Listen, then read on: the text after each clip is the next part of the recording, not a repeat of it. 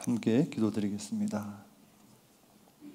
고마우신 주님, 저희에게 건강과 지식과 지혜를 베풀어 주셔서 거룩하신 하나님의 말씀을 배울 수 있는 시간을 주시고 시간이 흘러감에 따라 더욱더 깨달아 알게 해주시니 감사를 드립니다.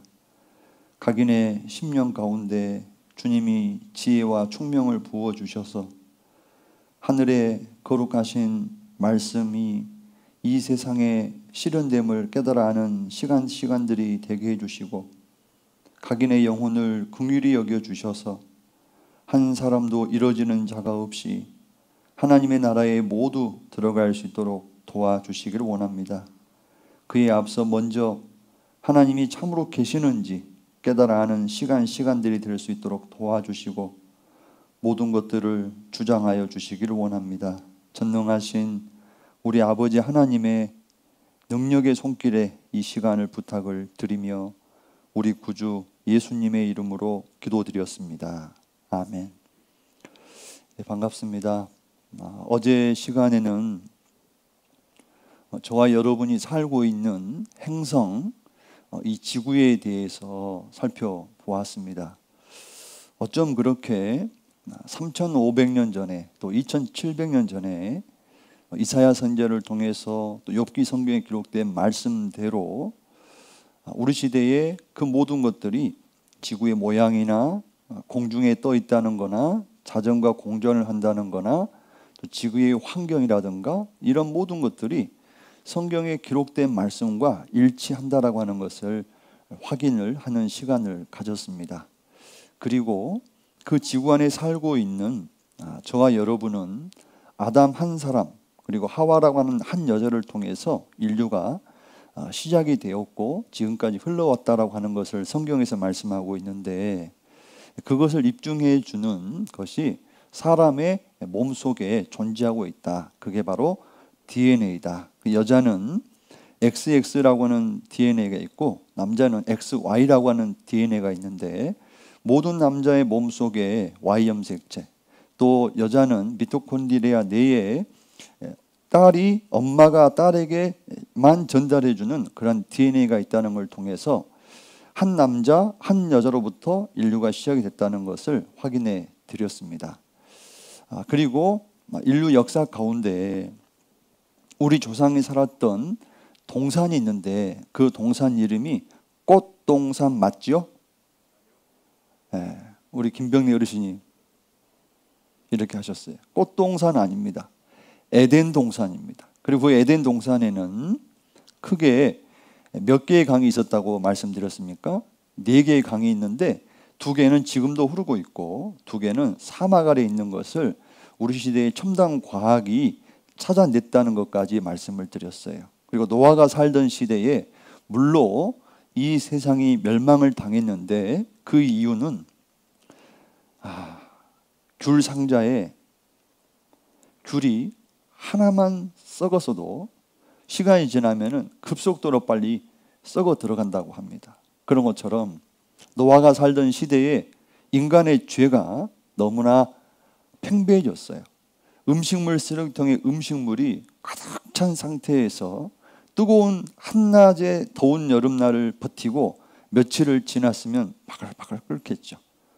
그래서 하나님께서는 아, 물로써 세상을 심판하실 것과 그리고 비록 죄인이지만 죄를 용서받고 살아날 수 있는 방주에 탈 수 있는 기회를 거저 어, 주었습니다. 그러함에도 불구하고 노아의 여덟 식구 외에는 사람은 아무도 타지 않는 결과로 이 세상이 물로 멸망했다라고 하는 걸 말씀을 드렸고 또 그 증거로 아라라산이 존재하고 또 아라라산에 노아의 방주가 발견이 되었고 그 더 놀라운 것은 세계 높은 고산 지대에 소금이 나온다라고 하는 겁니다.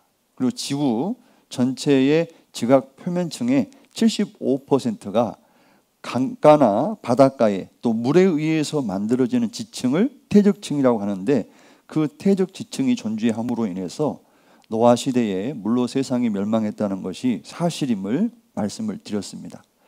자, 오늘은 거기에 이어서 인류 초기 역사 가운데 하나님께서 자, 우리가 하나님 입장에서 한번 생각해 보죠.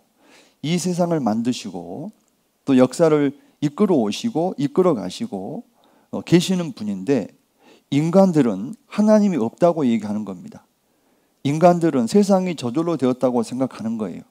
그럼 어떻게 할까? 고민 고민 하시다가 아담부터 모세 때까지 무려 기간이 2500년입니다. 2500년 동안 하나님께서 인간 역사를 시작하시고 2500년이 흐른 뒤에서야 모세에게 처음 성경을 기록하도록 하게 하십니다. 그게 창세기입니다. 인류 역사가 2500년이 흐른 뒤에서야 성경이라고 하는 것이 처음 기록이 됐어요. 모세는 인류 역사가 어떻게 시작이 됐는지, 누가 창조했는지 모세는 모릅니다. 근데 하나님께서 모세에게 일러주신 겁니다. 창조하신 것부터 해서 또 인류의 역사와 그리고 모세는 이스라엘 사람입니다. 이스라엘의 역사까지 시작이 된 것을 쭉 이렇게 일러주셨어요.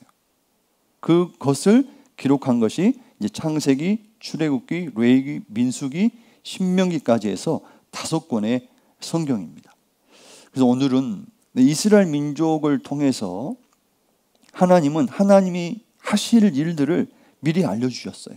하신 일도 알려주셨습니다. 그래서 우리는 누구를 보면 되냐면은 이스라엘을 자세히 보면은요, 아하, 하나님이 살아 계시는구나라고 하는 것을 알게 될 거예요. 요즘 핫한 드라마가 뭐예요? 전 잘 모르겠는데 드라마를 이렇게 보면은 조연을 봐요, 주연을 봐요. 주인공을 봐야죠. 주인공이 어떻게 되느냐라고 하는 걸 봐야 되는데 어떤 분들은 이 주연이 심각한 일들을 막 처리하다 보니까 너무 사람이 긴장하니까 조금 긴장을 풀어주기 위해서 이 게스트 몇 명이 나와가지고 뭐 농담도 하고 이런 내용이 나와요. 근데 그것만 알고 있는 사람들이 있어요. 그러면은 이게 그 진짜 내용을 모르는 경우가 있습니다. 많은 사람들이 성경을 공부하는 목적이 착하게 살기 위해서 성경을 공부하고 또 천국에 있으면 뭐 갈 수 있으면 가고 또 이렇게만 생각하는데 그게 아니라 성경에서는 이스라엘을 자세히 살펴봐라. 이스라엘 자세히 살펴보면 너희가 어떻게 살아야 할지 또 하나님이 어떤 분인지를 분명하게 알게 될 거다라고 말씀을 하고 계십니다. 자, 말씀을 좀 이어서 드려보자면 이렇습니다.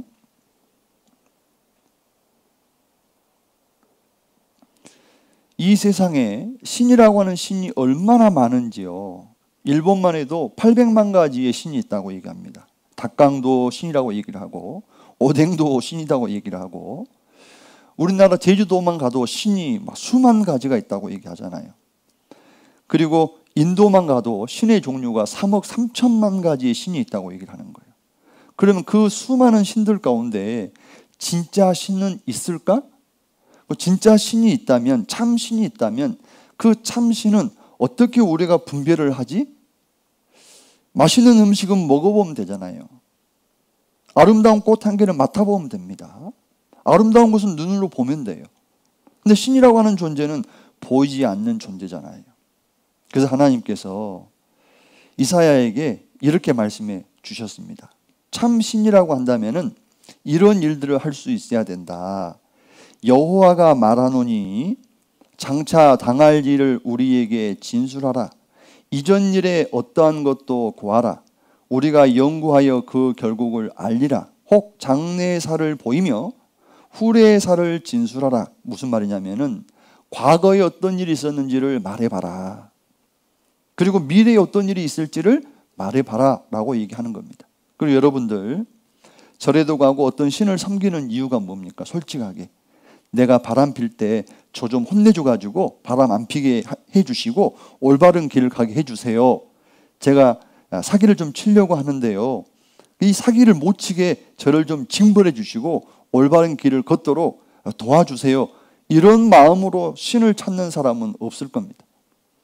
자기 힘으로 도저히 해결할 수 없는 극한의 힘든 사건 속에서 신을 찾고 그리고 자기가 죄를 짓고 사기를 치고 거짓말을 하고 이럴 때는 신을 찾지 않습니다. 근데 참 신은 참 부모와 같다. 참 부모는 어떻습니까? 자식이 잘할 때는 격려해 줍니다. 자식이 잘 못하면 어떻게 합니까? 올바른 길을 가서 더 큰 인물이 되라고 책망하잖아요. 그런 것처럼 참신은 복도 내리고 화도 내릴 수 있는 신이어야 된다라고 말씀을 하고 계시는 거예요. 그래서 오늘 이 부분에 대해서 살펴보려고 합니다. 정리해 봤습니다. 미래의 일, 과거의 일, 그리고 복과 화를 내릴 수 있는 신이 참 신에 해당이 된다고 말씀을 하고 계십니다.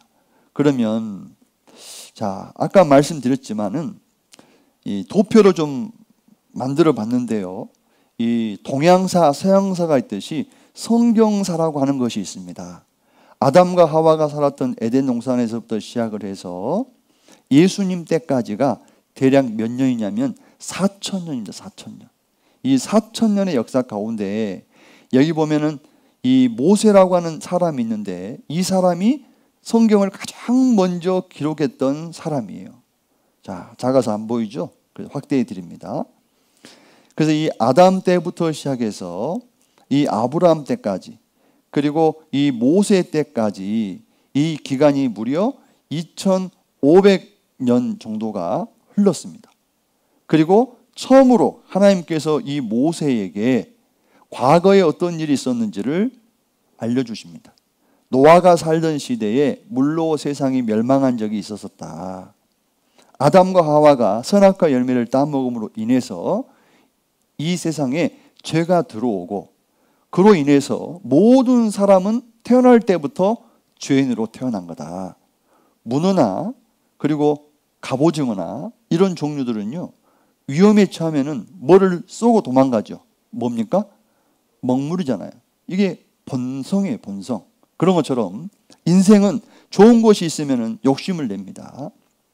빼앗고 싶어 합니다. 자기가 잘난 게 있으면 자랑하고 싶은 그런 마음들이 올라옵니다. 그게 죄의 시작인데 이게 내 아버지, 아버지, 아버지를 거슬러 올라가 보면 처음 아버지 아담이 나옵니다. 그 아담과 하와가 원래는 하나님이 정직하게 지었는데 하나님처럼 된다는 말에 속아서 선악을 알게 하는 나무의 실과를 먹었잖아요. 그 결과로 모든 사람이 태어날 때부터 죄인이고 그 결과로 내 의지와 상관없이 모든 사람은 지옥에 갈 수밖에 없는 형편에 있는 거예요. 근데 정작 인간은 이 사실을 모르고 있는 겁니다. 누가 알고 있습니까? 하나님이 알고 계시는 거예요. 뭐 어찌할고 이걸 알려줘야 되겠는데 불이 났습니다. 아파트 전체 아래층에 불이 났습니다. 근데 옆집에 보니까 어르신들이 계시는데 모르고 계시는 것 같아요. 어떻게 나오시겠지 하고 나옵니까? 두들기잖아요. 초인종 누르잖아요. 한 번 누르는 게 아니잖아요. 나오실 때까지 그리고 구체적으로 알려드리고 피난할 수 있도록 도와주는 것이 사람의 마음이지 않습니까? 마치 하나님 아버지의 마음이 그 마음인 거예요. 그래서 이 성경을 우리에게 보내주신 겁니다. 근데 우리는 먼저 이 성경 말씀이 하나님 말씀인지 참인지 확인할 수 있어야 됩니다. 그래서 이런 성경 강의를 차근차근 해 나가는 거예요.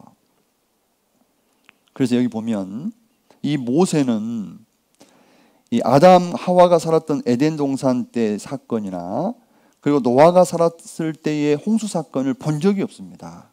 그리고 자기의 조상인 이스라엘의 시조가 아브라함인데 이 아브라함 때에도 이 모세는 없었습니다. 근데 이 모세에게 과거에 있었던 일을 알려주신 거예요. 그리고 또 미래에 있을 일도 알려주신 겁니다. 그리고 모세가 죽고 난 이후에 39명의 사람이 하나님의 부름을 받았어요. 300년이 흐르고 또 500년이 흐르고 또 200년이 흐르고 어쩔 때는 동시대에 여러 사람을 불러가지고 하나님께서 하실 일, 또 하신 일에 대해서 자세하게 알려주시고 기록하도록 하셨습니다. 그것이 여러분 앞에 놓여 있는 성경인 거예요. 그리고 이때 당시에 성경을 공부하다 보면 3,500년 전, 2,700년 전, 1,900년 전 이런 연대가 나오잖아요. 그게 어떻게 계산이 되냐면은 북이스라엘과 남유다, 또 이스라엘의 역사, 그리고 이스라엘 역사는 단독의 역사가 아닙니다. 주변국이 있잖아요. 이집트라고 하는 애굽이 있었고 그리고 조금 더 시간이 지나가면서 바벨론, 그 전에는 아수르, 그다음에 페르시아, 헬라, 로마 이러한 강대국들이 있었습니다. 그들과 연결되는 이 사건들이 너무나 많거든요. 그래서 그 연대를 추정할 수가 있습니다. 참조하시면 되겠다 싶고요. 그리고 이제 어제 저희가 이제 여기저기를 설명을 좀 드렸는데 그거를 이제 구글어스를 통해서 좀 설명을 어, 드려볼까 합니다. 자 여기 보면요. 여러분들이 지금 어디에 계시냐면은 이 지구 안에 지금 여러분들이 존재하고 있습니다. 자, 이 지구 안에 여러분들이 존재하는데 보이셔요? 안 보이셔요? 안 보이죠. 근데 살고는 계시죠. 예. 근데 언젠가 이 세상을 떠날 때가 올 겁니다. 자, 이 지구가 이렇게 둥그렇습니다. 그리고 이 지구 안에 70 수십억 명이 현재 지금 살아가고 있어요. 그럼 현재 우리는 어디에 있는 거냐? 지금 인천 계양 교회당의 3층에 지금 여러분이 앉아 계십니다. 자, 비행기를 타고 인천국제공항으로 이제 비행기를 타기 위해서 이제 옮겨 가 봅니다. 한 30분이면 가잖아요. 여기서 비행기를 타고 어디로 갈 거냐? 에덴 동산이 있었던 티그리스 강과 유프라테스 강 기억나시죠? 자, 그곳으로 옛 에덴 동산의 옛 자리로 한번 가보겠습니다.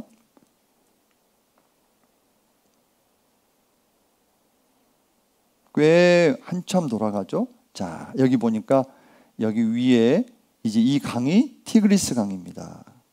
밑에 있는 이 강이 유프라테스 강이고 그리고 이 두 개 강이 만나서 이 페르시아만으로 흘러 들어가죠. 그리고 비손 강과 기온 강이 사우디아라비아, 이란 사막 아래 묻혀 있다는 것이 확인이 되었죠. 그리고 노아 시대에 노아의 방주가 머물렀던 곳이 어디라고 말씀드렸죠? 아라라 산이라고 했잖아요. 터키에 있었다고 말씀드렸습니다. 바로 조금 더 올라가 보면 이곳이 터키에 있는 아라라 산입니다. 창세기 8장에서 말씀하고 있는 노아의 방주가 머물렀던 산이 실제로 존재하고 있는 겁니다. 그리고 물에 의해서 태적 지층이 엄청난 두께로 쌓였다는 것을 말씀을 드렸지요. 그 대표적인 곳이 그랜드 캐년이라고 말씀을 드렸는데 그 그랜드 캐년도 가보면은 어마한 정말 엄청난 그 길입니다. 남북한 그 거리만큼 되는데 이건 사진을 좀 보면요. 자, 그 지역에 갔던 사람들이 예, 사진을 찍어서 이렇게 예, 올립니다. 그런데 지금 보니까 아, 무선 인터넷이어서 잘 안 나오는 것 같아요. 그냥 통과하도록 하겠습니다. 이 사진 조그만 걸로 이렇게 확인을 하시면 되겠습니다. 그리고 스카이워크가 바로 이곳에 있습니다. 그래서 이 한번 기회가 되시면은 예, 가보시기 바랍니다. 이제 비행기가 아, 이곳에까지 와서 착륙을 하기도 하고요. 그리고 이 스카이워크에서 바라보는 이 그랜드 캐년의 협곡은 그 깊이가 어마어마합니다. 이렇게 예, 이렇게 높아요.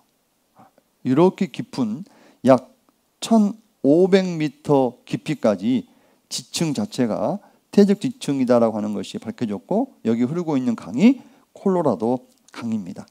그리고 이 또 하나의 노아 홍수 사건이 사실이라는 것을 입증해 주는 것이 이 볼리비아의 3,600m 정도 높은 곳에 소금 호수가 있다라고 하는 거 어제 말씀을 드렸었는데 이게 그 소금 호수입니다. 그리고 이제 오늘 배우게 될 이스라엘을 좀 가보겠습니다. 자, 이스라엘을 가보면 이스라엘이 이렇게 생겼습니다. 자, 이스라엘이 우리나라보다 훨씬 작고 혹은 이제 경상도 땅만 하다 뭐 이렇게도 얘기도 하고 있고 막 그러는데요. 조금 인터넷 사정이 좋지 않아서 아, 살짝 흐릿한데요. 그래서 이 이스라엘에 대해서 오늘 집중적으로 공부를 해보고 이걸 통해서 하나님이 계시는지에 대한 그 여부를 확인해 보려고 합니다. 그 여러분들이 좀 기억해 주셨으면 싶은 호수가 있는데 그 호수가 바로 갈릴리 호수입니다.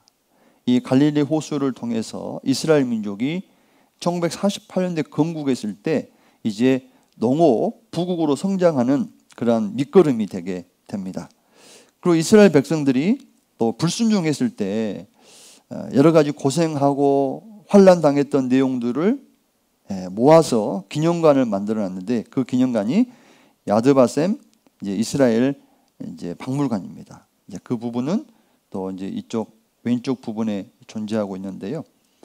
자, 요거는 인터넷 사정이 안 되는 거 보니까 여기까지인 것 같습니다. 자, 그럼 이제 이어서 말씀을 드려보도록 하겠습니다.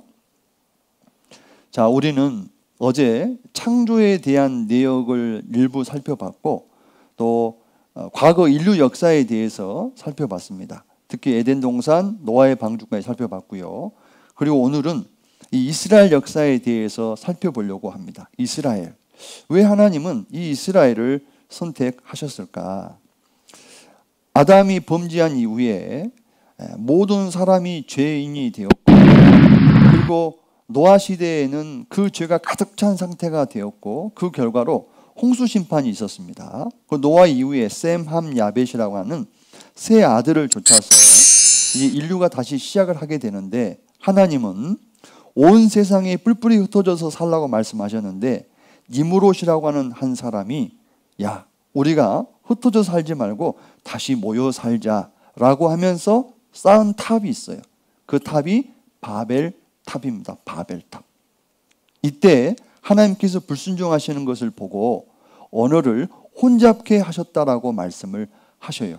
근데 언어학자들의 이야기를 들어보면 그들이 연구한 결과는 원래 하나의 언어에서부터 온 세상의 언어가 나뉘어졌다. 저도 궁금했거든요. 한 가족인데 조금씩 경상도 말, 어, 강원도 말 차이는 있을 수 있어도 알아듣기는 할 텐데 왜 전혀 알아듣지를 못할까? 그게 창세기 11장에 나와 있습니다. 그리고 이제 하나님에 대해서 무관심한 그리고 우상을 숭배하는 그러한 시대에 하나님께서 이스라엘을 이제 부르시게 됩니다. 하나님을 찾지 않는 그러한 시대가 있었는데 시편 14편에서는 어리석은 자는 그 마음에 이르기를 하나님이 없다 하도다. 저희는 부패하고 소행이 가증하여 선을 행하는 자가 없도다. 여호와께서 하늘에서 인생을 굽어 살피사 지각이 있어 하나님을 찾는 자가 있는가 보려 하신즉 다 치우쳤으며 함께 더러운 자가 되고 선을 행하는 자가 없으니 하나도 없도다. 하나님을 찾는 사람들이 아무도 없는 거예요. 그때에 하나님께서 고민하셨어요. 어떻게? 그때 고민하던 끝에 갈대아 우르에 살고 있는 한 사람을 부르게 됩니다. 근데 이 아브라함도 처음부터 하나님을 섬긴 사람은 아니었어요. 우상을 숭배하고 있었던 사람입니다. 그리고 이 아브라함에게 하나님을 소개하십니다. 그리고 아브라함에게 약속을 해 주셔요. 어떤 약속을 해 주시냐면은 창세기 12장 1절에 보면은 아브라함에게 이르시되 너는 너의 본토 친척 아비집을 떠나 내가 내게 지시할 땅으로 가라. 지시할 땅이 그때 당시는 가나안 땅, 지금은 이스라엘 땅입니다. 그 자리 전에는 팔레스타인 땅이었습니다. 내가 너로 아브라함으로 큰 민족을 이루고 내게 복을 주어 내 이름을 창대케 하리니 너는 복의 근원이 될지라. 너를 축복하는 자에게는 내가 복을 내리고 너를 저주하는 자에게는 내가 저주하리니 땅의 모든 족속이 너를 인하여 복을 얻을 것이니라 하신지라. 자, 이걸 요약해 보면 이렇습니다. 하나님께서 이스라엘이라고 하는 가나안 땅을 주시겠다. 그리고 유대인이라고 하는 한 민족을 허락해 주겠다. 그리고 육신의 복을 얘기하는 것이 아니라 영혼의 복을 얘기하는 겁니다. 천국에 들어갈 수 있는 길이 이스라엘을 통해서 열리게 될 거다. 그리고 이스라엘 민족들을 통해서 하나님의 아들인 예수님이 오셔서 모든 사람이 천국에 들어갈 수 있는 그 길이 마련될 것이다. 그러한 민족으로 하나님께서 이스라엘 아브라함을 이제 쓰시겠다고 부르셨습니다. 그리고 이 아브라함이 이삭을 낳고 야곱을 낳고 그리고 이 야곱 때에 430년 동안 애굽에서 살게 되는데 이 400년 동안은 종사를 하게 됩니다. 이때 하나님께서 모세를 불러서 홍해 바다를 갈라서 이스라엘 백성들을 다 구출해서 가나안 땅으로 땅으로 인도하게 하십니다. 그 여정 중에 신의 산에서 하나님께서 이제 십계명을 주셔요. 그리고면서 순종을 하면은 축복해 주고 불순종하면은 저주를 내리겠다라고 말씀을 하십니다.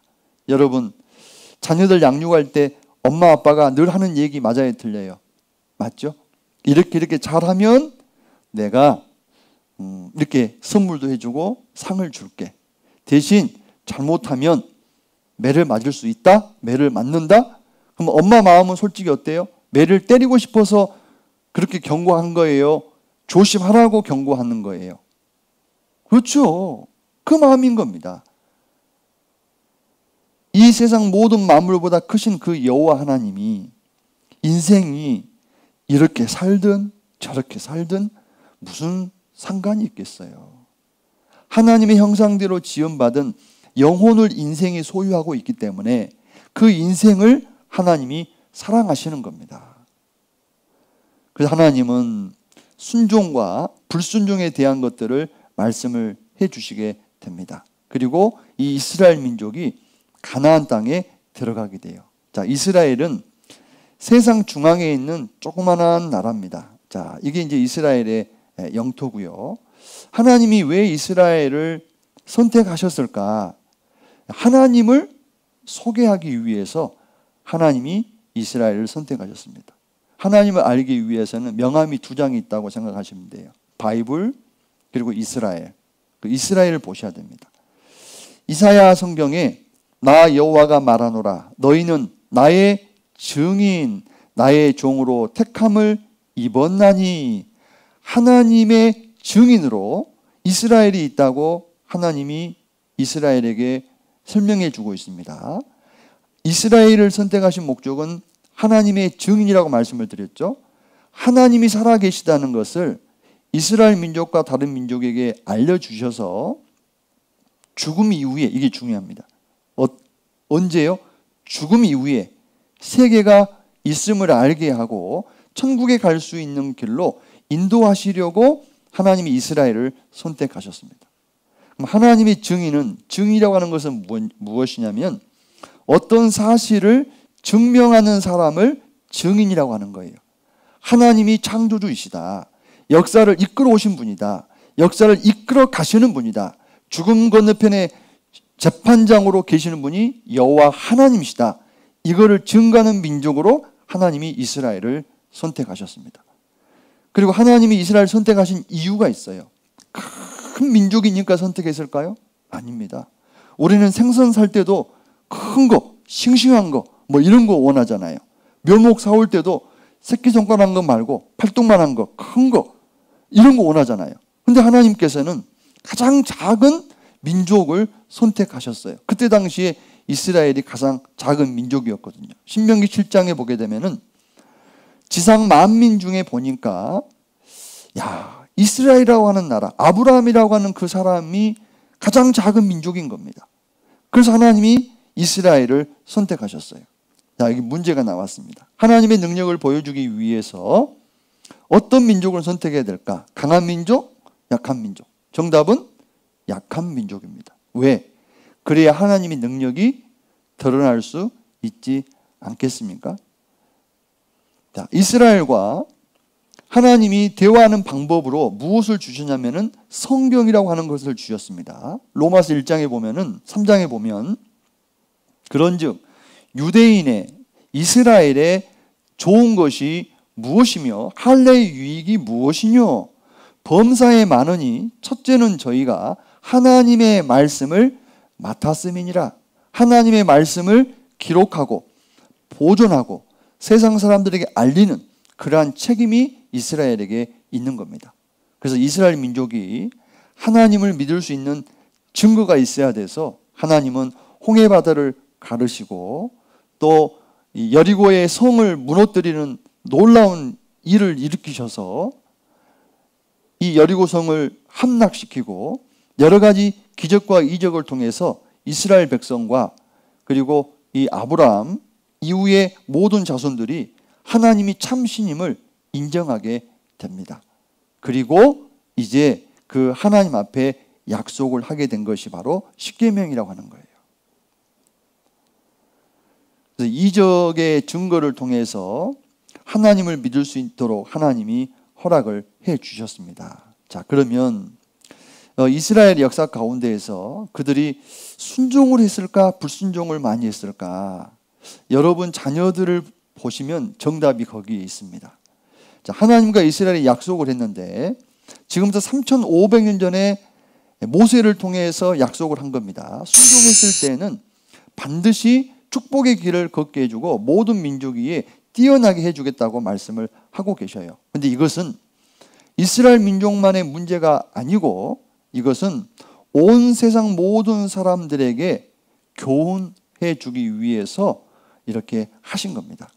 자, 이스라엘을 선택하시고 에레미야 선지자를 통해서 이렇게 말씀하십니다.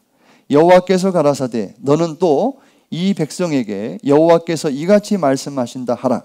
보라 내가 너희 앞에 무슨 길입니까? 생명의 길, 사망의 길을 두었노니. 오, 선택이 누구에게 주어져 있죠? 이스라엘 백성들에게 주어져 있는 겁니다. 여러분 앞에 생명의 길이 있고 사망의 길이 있는데 그 길이 정해진 것이 아니고 여러분의 선택에 달려 있다라고 하는 거예요. 이스라엘과 하나님과의 그 약속을 보게 되면은 BC 2000년부터 BC 1500년 그리고 AD 95년까지 하나님의 말씀이 주어졌습니다. 성경 말씀에 기록된 것으로는 무려 1600년 동안 하나님의 약속의 말씀이 주어진 거예요. 그리고 이스라엘 민족에게 순종했으면 좋겠다. 그리고 순종하면 이렇게 이렇게 이렇게 해줄게. 우리 보험 약관 보면 내가 어떤 병이 걸렸을 때에 뭐가 얼마 나오고 뭐 얼마 나오고 뭐는 얼마 나오고 이런 내용들이 있어요 없어요? 있잖아요. 그런 것처럼 순종했을 때에 그 목록들이 어마어마하게 신명기 11장에 28장에 레이기 성경에 자세하게 기록이 되어져 있습니다.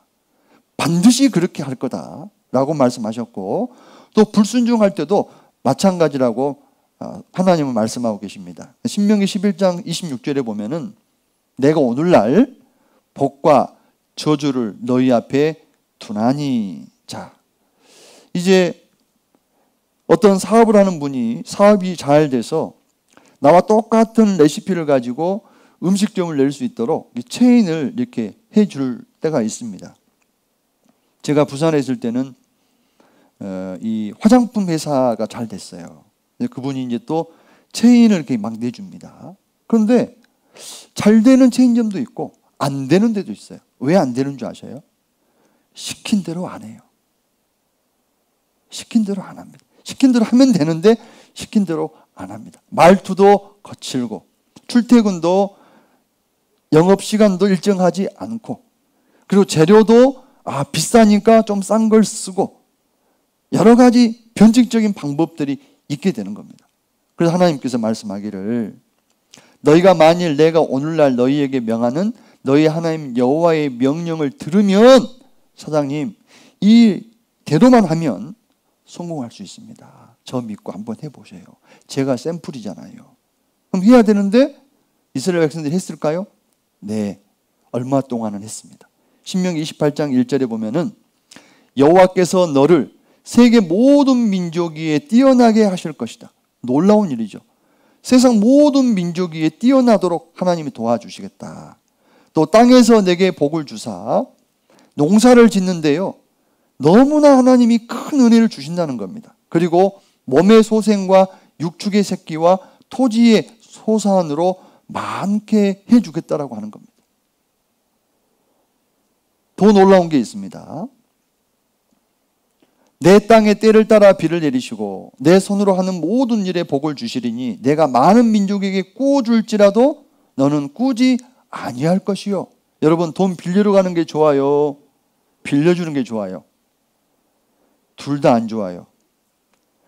확실하게 받을 수 있으면야 뭐 빌려줘도 좋지만 빌려줘 가지고 못 받은 돈 다 있을걸요. 예. 자, 또 머리가 되고 꼬리가 되지 않게 하시며 위에만 있고 아래에 있지 않게 하시리니 자 이런 축복이 어떻게 해야 임하느냐 14절입니다. 내가 오늘날 너희에게 명하는 그 말씀을 떠나 좌로나 우로나 치우치지 아니하고 다른 신을 따라 섬기지 아니하면 이와 같으리라. 하나님이 제일 싫어하는 게 뭐냐면요. 다른 신을 섬기는 겁니다. 다른 말로는 내자입니다. 우상숭배입니다. 여러분 남편이 돈을 좀 못 벌어 와도 괜찮습니다. 조금 부족해도 괜찮다고 얘기합니다. 내 바람을 피면 용서 못 한다고 합니다. 하나님 마음이 마치 그거예요. 가장 싫어하는 것이 우상 숭배였습니다. 이게 지금부터 3,500년 전에 약속했던 거고, 근데 이 말씀대로 이스라엘 백성들이 순종한 결과로 인해서 여호수아가 이끄는 군대가 이 현재의 가나안 족속들이 살고 있었던 그 영토를 차지하게 하나님이 도와주십니다. 그리고 여리고성이 무너지는 일이 있고 아말렉, 미디안, 가나안, 암몬, 블레셋 이런 족속들과 전쟁할 때 승리할 수 있게 해주십니다. 근데 제가 이런 마음이 들었어요. 그럼 그 가나안 족속은 이스라엘 때문에 그냥 멸망해야 되는 건가? 이런 반감이 올라왔어요. 근데 성경을 읽다 보니까 이렇게 말씀하고 있습니다. 나의 의로움을 인하여 여호와께서 나를 이 땅으로 인도하여 들여서 그것을 얻게 하셨다 하지 말라. 이스라엘 민족이 잘 함으로 인해서 뭔가를 잘 운영해서 전술을 잘 활용했기 때문에 가나안 땅을 차지했다고 말하지 마라. 첫 번째는 너희가 순종했던 거고 두 번째는 이 가나안 족속들이 너무나 죄가 많았던 거예요. 그래서 하나님은 한 나라가 망하고 흥하고 하는 일들이 반복되잖아요. 그 이유가 뭐냐면은 죄악이 너무 심하면 주변 나라를 들어서 때리는 겁니다. 그리고 또 봐줬다가 그래도 심하면 또 주변 나라를 들어서 또 치는 겁니다. 그래서 이 가나안 족속이 너무나 죄가 심했기 때문에 이스라엘을 통해서 치신 거예요. 그 이스라엘이 또 죄악이 가득 차면은 주변 나라를 통해서 또 치셨던 겁니다. 하나님이 세상을 운영하는 방식입니다. 그리고 다이도 왕국 때에는 이 땅이 영토가요 엄청나게 많이 확장이 되었습니다. 블레셋, 모압, 소바, 아람, 하맛, 에돔까지 차지하게 되었고 그리고 다윗이 부하고 존귀하다가 죽음에 그 아들 솔로몬이 대신하여 왕이 되니라. 자 여기 보면은 초대 왕 사울 왕이 통치했을 당시의 영토입니다. 그리고 이 두 번째 칸에 있는 이 부분이 이 바로 다윗 왕이 통치할 때예요. 그리고 이 부분은 이제 솔로몬 왕이 통치할 때고 주변 나라들에서 조공을 받는 그러한 나라로 성장을 하게 됐습니다. 그리고 솔로몬 때는 솔로몬 성전을 짓고 또 궁전을 지었습니다. 솔로몬이 썼던 그릇은 다 금이고 재산과 지혜가 천하 열왕보다 승했다라고 성경은 기록을 하고 있어요. 자, 이게 이제 성전의 모습이고요. 그리고 하나님 앞에 이제 봉헌하고 있는 솔로몬입니다. 왜 이렇게 하나님이 해 주셨습니까? 너희가 만일 내가 오늘날 너희에게 명하는 너희 하나님 여호와의 명령을 들으면 복이 될 것이요. 복이 될 것이요. 이 말씀대로 하나님께서 해 주셨습니다. 그리고 이제 이스라엘 백성들이 400년 동안 종살이 하고 있던 이스라엘 땅에서 이 아, 이집트 땅에서 이제 출애굽을 하게 됩니다. 애굽에서 나오게 되는 그 사건이 있게 되는데 바로 이곳 이제 홍해 바다를 통과해서 이제 시내 산 앞에 있었을 때에 하나님께서 이 시내 산에서 모세에게 십계명을 주셔요. 그리고 약속을 했던 겁니다. 아까 말씀드렸던 것은 축복에 대한 약속이고 이번에 조금 무섭습니다. 이제 불순종했을 때 어떤 일이 있을 것인지를 성경에서 말씀해 주고 있는데 모든 민족보다 비참하게 되는 일이 있다는 거예요. 모든 민족보다 비참하게 되는 일이 있고 또 복을 내리든지 화를 내리라. 우리가 함께 보고 놀라리라. 하나님 말씀하셨는데 아까는 복을 내리셨죠. 이제 잘못했을 때 화를 내리는지를 우리가 확인해 봐야 됩니다. 이것도 샘플인 거예요. 그리고 우리가 하나님의 뜻 가운데 살아가면 도와주시지만은 우상 숭배하는 그러한 삶을 살아가면 하나님께서 훈계하셔서 올바른 길을 걷도록 하신다는 겁니다. 자, 이스라엘 민족을 선택하시고 아까 말씀드렸다시피 생명의 길이 있고 사망의 길이 있습니다. 선택은 이스라엘 몫이고 우리의 몫입니다. 자, 신명기 11장 28절에는 너희에게 명하는 도에서 돌이켜 떠나 너희 하나님 여호와의 명령을 듣지 아니하고 본래 알지 못하던 다른 신들을 좇으면 뭘 받습니까? 저주를 받는다고 되어 있습니다. 자, 이거는 저주를 내리겠다는 의도가 아니라 조심하라는 겁니다. 신명기 28장에 보게 되면은 여호와의 말씀을 순종치 아니하여 내가 오늘날 내게 명하는 그 모든 명령과 규를 지켜 행하지 아니하면 이 모든 저주가 내게 임하고 내게 미칠 것이니 내가 성읍에서도 저주를 받으며 들에서도 저주를 받을 것이요 내 광주리와 떡반죽 그릇이 저주를 받을 것이요 먹고 먹을 양식이 없다는 거죠. 몸의 소생과 내 토지의 소산과 내 우양의 새끼가 저주를 받을 것이며 땅이 황폐하게 될 것이라는 그러한 예언의 말씀이 있는 겁니다. 또 더 놀라운 것이 있습니다. 이게 너무 중요한데요. 잘 보셔요. 여호와께서 너를 땅 이 끝에서 저 끝까지 만민 중에서 흩으시리니 이스라엘 백성 모든 사람 한 사람도 남기지 않고 열방 중에 다 흩어버린다고 되어 있습니다. 이런 일은 아무나 말할 수 있는 것이 아닙니다. 그리고 흩어진 열국 중에서 내가 평안함을 얻지 못하며 내 발바닥을 쉴 곳도 얻지 못하고 내 생명을 확신할 수 없을 것이라. 불순종하게 되면은 이제 땅은 황폐하게 되고 식량도 없고 그 땅에서 쫓겨나고 쫓겨난 곳에서도 평안하지 못하고 생명을 확신할 수 없는 그러한 놀라운 벌이 있다는 거예요. 자, 이 이야기를 듣고 이스라엘 백성들이 아멘 했습니다. 예, 우리가 그렇게 하겠습니다. 근데 아까 말씀드렸다시피 처음 초반에는 순종하는가 싶더니 그들이 계속해서 불순종하는 일이 있었습니다. 이러한 십계명이 있었지만은 유명무실했습니다. 이집트에서 사람들이 섬겼던 송아지 우상을 만들어서 섬기는 일이 시작이 됐고 이런 일들이 반복적으로 일어났습니다. 사사들이 통치했던 시대가 350년이었는데 반복적으로 우상을 숭배하는 일들이 있었습니다. 그리고 사울, 다윗, 솔로몬 왕, 다윗 왕과 솔로몬 왕 이때에만 반짝 순종하는 일이 있었죠. 그리고 이 마지막 왕 솔로몬 왕 때 BC 930년 경에 우상 숭배하는 일이 있게 됨으로 인해 가지고 다시 북이스라엘과 남유다로 나뉘어지게 되는 분단의 아픔이 시작이 됩니다. 그리고 또 서로 싸우는 거예요. 그리고 싸우면서 주변 나라를 불러들여서 치고 북이스라엘도 주변 나라의 도움을 받아서 남유다를 치는 결국에는 두 나라가 멸망을 당하게 됩니다. 솔로몬 왕 이후에 분열이 됐고 남쪽에는 20명의 왕들이 통치했고요. 북쪽에는 19명의 왕이 통치를 했습니다. 근데 이때마다 하나님이 부지런히 하나님의 그 메시지를 보내게 됩니다. 엘리야, 미가야, 엘리사, 또 남쪽에도 나훔, 하박국 이런 사람들을 보내게 돼요. 그래서 이제 훈계하면은 뉘우쳐요. 그리고 이제 용서를 해줍니다. 근데 다시 또 불순종하는 거예요. 이런 기간이 무려 얼마였냐면은 900년 동안 반복이 된 겁니다. 그래서 하나님은 하, 이렇게 표현하고 계셔요. 하늘이여 들어라 땅이여 귀를 기울이라 여호와께서 말씀하시기를 내가 자식을 양육하였거늘 그들이 나를 거역하였도다. 이 직원이 거역하면 내보내면 됩니다. 자식이 잘못하잖아요.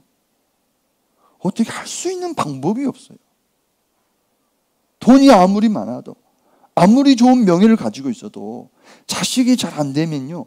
그것같이 힘든 게 없잖아요. 그리고 말하기를 손은 그 임자를 알고 나귀는 주인의 구유를 알건만은 이스라엘은 알지 못하고 나의 백성은 깨닫지 못하는도다. 하나님의 사랑, 그 보살핌의 사랑을 알지 못하고 다른 신을 섬기는 거예요. 조강지처를 버리고 다른 여자에게 눈을 돌리는 그런 상황이 벌어진 겁니다. 그리고 말하기를 슬프다. 범죄한 나라요 허물진 백성이요 행악의 종자요 행위가 부패한 자식이로다. 그들이 여호와를 버리며 이스라엘의 거룩한 자를 만홀히 여겨 멀리하고 물러가도다. 그래도 하나님은 마치 부모와 같은 마음으로 또 참고 또 참으셨어요. 그리고 이제 결국은 점점점 이 하나님과 이스라엘 사이가 멀어지게 됩니다. 그 이유가 죄 때문입니다. 오직 너희 죄악이 너희와 너희 하나님 사이를 내었고 너희 죄가 그 얼굴을 가리워서 너희를 듣지 않으시게 함이니 그 이스라엘의 범죄함으로 인해서 하나님과 이스라엘 사이가 갈라지게 된 겁니다. 심지어 이런 죄도 지었어요. 레기 18장 21절에 보면은 너는 결단코 자녀를 몰렉 신에게 주어 불로 통각해 말아서 내 하나님의 이름을 욕되게 하지 말라. 몰렉이라고 하는 신에게는요. 여러분 최근에 아이 낳으신 분들 계셔요?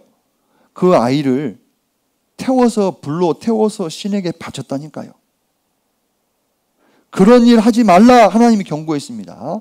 근데 이스라엘 백성들이 그 죄를 범했어요. 구약 시대에도 몰렉이라고 하는 신 외에도 우상에게 어린 생명을 바치는 죄를 지었습니다. 아들과 딸을 제물로 불에 태워서 드리는 그 죄를 범했다니까요. 그리고 피조물을 조물주보다 더 경배하고 섬기는 일이 있었습니다. 우리 시대도 그러지 않습니까? 하나님 마음이 마치 이런 것이었습니다. 이는 너를 지으신 자는 내 남편이시라. 하나님이 남편이면 이스라엘은 아내잖아요. 근데 이 뒤에 말씀 보면은 온 세상의 하나님이라 칭함을 받으실 것이며 돼 있죠. 하나님은 이스라엘의 남편만 되는 것이 아니라 온 세상 모든 사람의 남편도 되는 겁니다. 여러분의 남편도 되는 거예요. 근데 그 남편을 모르고 살아가요. 남편이 진정한 남편이 없는 거예요. 그러니까 과부죠. 과부의 삶은 힘들잖아요. 허덕허덕 하는 거예요. 하나님을 만나야 돼요. 그 남편 되는 하나님을 만났을 때 진정한 삶의 의미를 발견하고 안식을 누릴 수 있게 되는 겁니다. 근데 그 하나님을 배반하고 이스라엘이 우상을 숭배했던 겁니다. 이스라엘아 마치 아내가 그 남편을 속이고 떠남같이 너희가 정령이 나를 속였느니라 여호와의 말이니라. 하지만 하나님도 참 끈질기십니다. 어떻게 하셨습니까? 멸망하는 것을 원치 않으셨기 때문에 내 종 선지자들을 그들에게 보내되 부지런히 보내었으나 그들이 나 여호와의 말을 듣지 아니하며 듣지 아니함이니라 여호와의 말이니라 그 하나님의 속상함을 성경에다가 기록해 놓은 겁니다. 그리고 또 하나님 말씀하셔요. 내가 작은 민족을 불러서 민족도 없고 땅도 없던 너희를 가나안 땅에 두어서 민족을 이루어 줬거늘 너희가 내 말을 듣지 않는 이유가 무엇이냐? 그 말씀을 또 하고 계십니다. 여기 보면은 주의 목소리를 청종치 아니하며 주의 도에 행치 아니하며 무릇 주께서 행하라 명하신 일을 행치 아니하였으므로 이제 마지막에 어쩔 수 없이 주께서 이 모든 재앙을 그들에게 내리셨나이다. 이 모든 재앙을 그들에게 내리셨나이다. 이 에레미야가 살던 때는요. 북이스라엘은 멸망해 가지고 사라져 버린 지 오래고 남유다는 바벨론 제국에 의해서 멸망당한 것을 에레미야가 직접 두 눈으로 본 거예요. 그리고 왜 우리가 이렇게 망했느냐? 우리가 불순종했기 때문이다. 하나님 말씀에 합당하지 않는 삶을 살았기 때문이고 우상 숭배한 결과다라고 고백하고 있는 겁니다. 자, 이스라엘이 솔로몬 왕 이후에 이제 분열을 하게 됐는데 북이스라엘은 아시리아에 의해서 BC 722년에 멸망을 당합니다. 남유다는 계속해서 타산지석에 교훈을 삼아서 순종하는가 싶더니 순종하지 않는 거예요. 바벨론에 의해서 멸망을 당했고 그리고 이 바벨론 포로 기간 중에서도 하나님은 그 곳까지 하나님의 선자들을 보내요. 그런데 완전히 돌이키지는 않았습니다. 그리고 70년 포로 기간이 끝난 이후에도 하나님이 또 보냅니다. 또 다시 또 또, 또 누구의 마음입니까? 엄마의 마음, 부모의 마음입니다. 다니엘은 이렇게 말합니다. 온 이스라엘이 주의 율법을 범하고 치우쳐 가서 주의 목소리를 청종치 아니하였으므로 이 저주가 우리에게 내렸으니 이 저주가 뭘까요? 모세를 통해서 신명기에 레이기에 1500년 전에 말씀하셨던 그 계약서의 내용을 말하고 있는 겁니다. 이러므로 여호와께서 이 재앙을 간직하여 두셨다가 기록된 대로 간직하여 두셨다가 우리에게 임하게 하셨사오니 우리의 하나님 여호와는 행하시는 모든 일이 공의로우시나 공의로우시나 말씀에 기록된 대로 행한 것을 보고 그 누구도 어찌 그렇게 하셨습니까? 라고 말할 수 없잖아요. 공의로우신 분이라고 얘기합니다. 다니엘은 바벨론 그리고 페르시아 제국 때까지 포로로 살아가는 삶을 살았어요. 그 가운데 왜 이스라엘이 이렇게 멸망을 당했을까? 그 이유를 성경을 쭉 보는 가운데 말씀에 기록된 데에서 우리가 그릇 행했다라고 하는 것을 알게 됩니다. 그리고 바벨론 제국에서 풀려나서 자유로운 나라가 될 줄 알았더니 불순종하니까 페르시아, 그다음에 헬라, 로마 제국 때까지 계속해서 속국의 그러한 신세를 지게 됩니다. 그리고 하나님께서 마지막으로요. 하나님의 아들 예수님을 보내시기로 작정을 하십니다. 마가복음 12장 6절에 오히려 한 사람이 있으니 곧 그의 사랑하는 아들이라 최후로 이를 보내며 가로되 내 아들은 공경하리라 하였더니 자 선지자들을 보내니까 안 들어요. 그래서 하나님이 하나님의 아들 예수님을 보냅니다. 그리고 예수님이 오병이어의 기적을 일으키고 소경의 눈을 뜨게 하고 죽은 지 나흘 된 나사로를 살려내고 그리고 영원한 천국에 대한 메시지를 전합니다. 근데 사람들이 막 몰려오는가 싶더니요. 다 하나씩 하나씩 떠나가고 없는 거예요. 그 이유가 뭐냐? 이때는 로마가 이스라엘을 통치하고 있었을 때입니다. 그들의 소원은 다윗 왕 때처럼 솔로몬 왕 때처럼 부강한 이스라엘을 꿈꾸고 있는 거예요. 근데 예수 그리스도가 그런 능력자인 겁니다. 그럼 그가 왕을 삼아서 이제 로마를 박살내고 이제 새로운 이스라엘을 만드실 것이라고 생각했는데 육신적인 그리고 로마로부터의 박해 이런 거에는 별 말씀이 없으신 겁니다. 이제 뭐가 안 맞았던 거예요. 그리고 영원한 천국에 대한 이런 메시지를 전할 때에 유대 종교 지도자들과 생각의 차이가 생기는 거예요.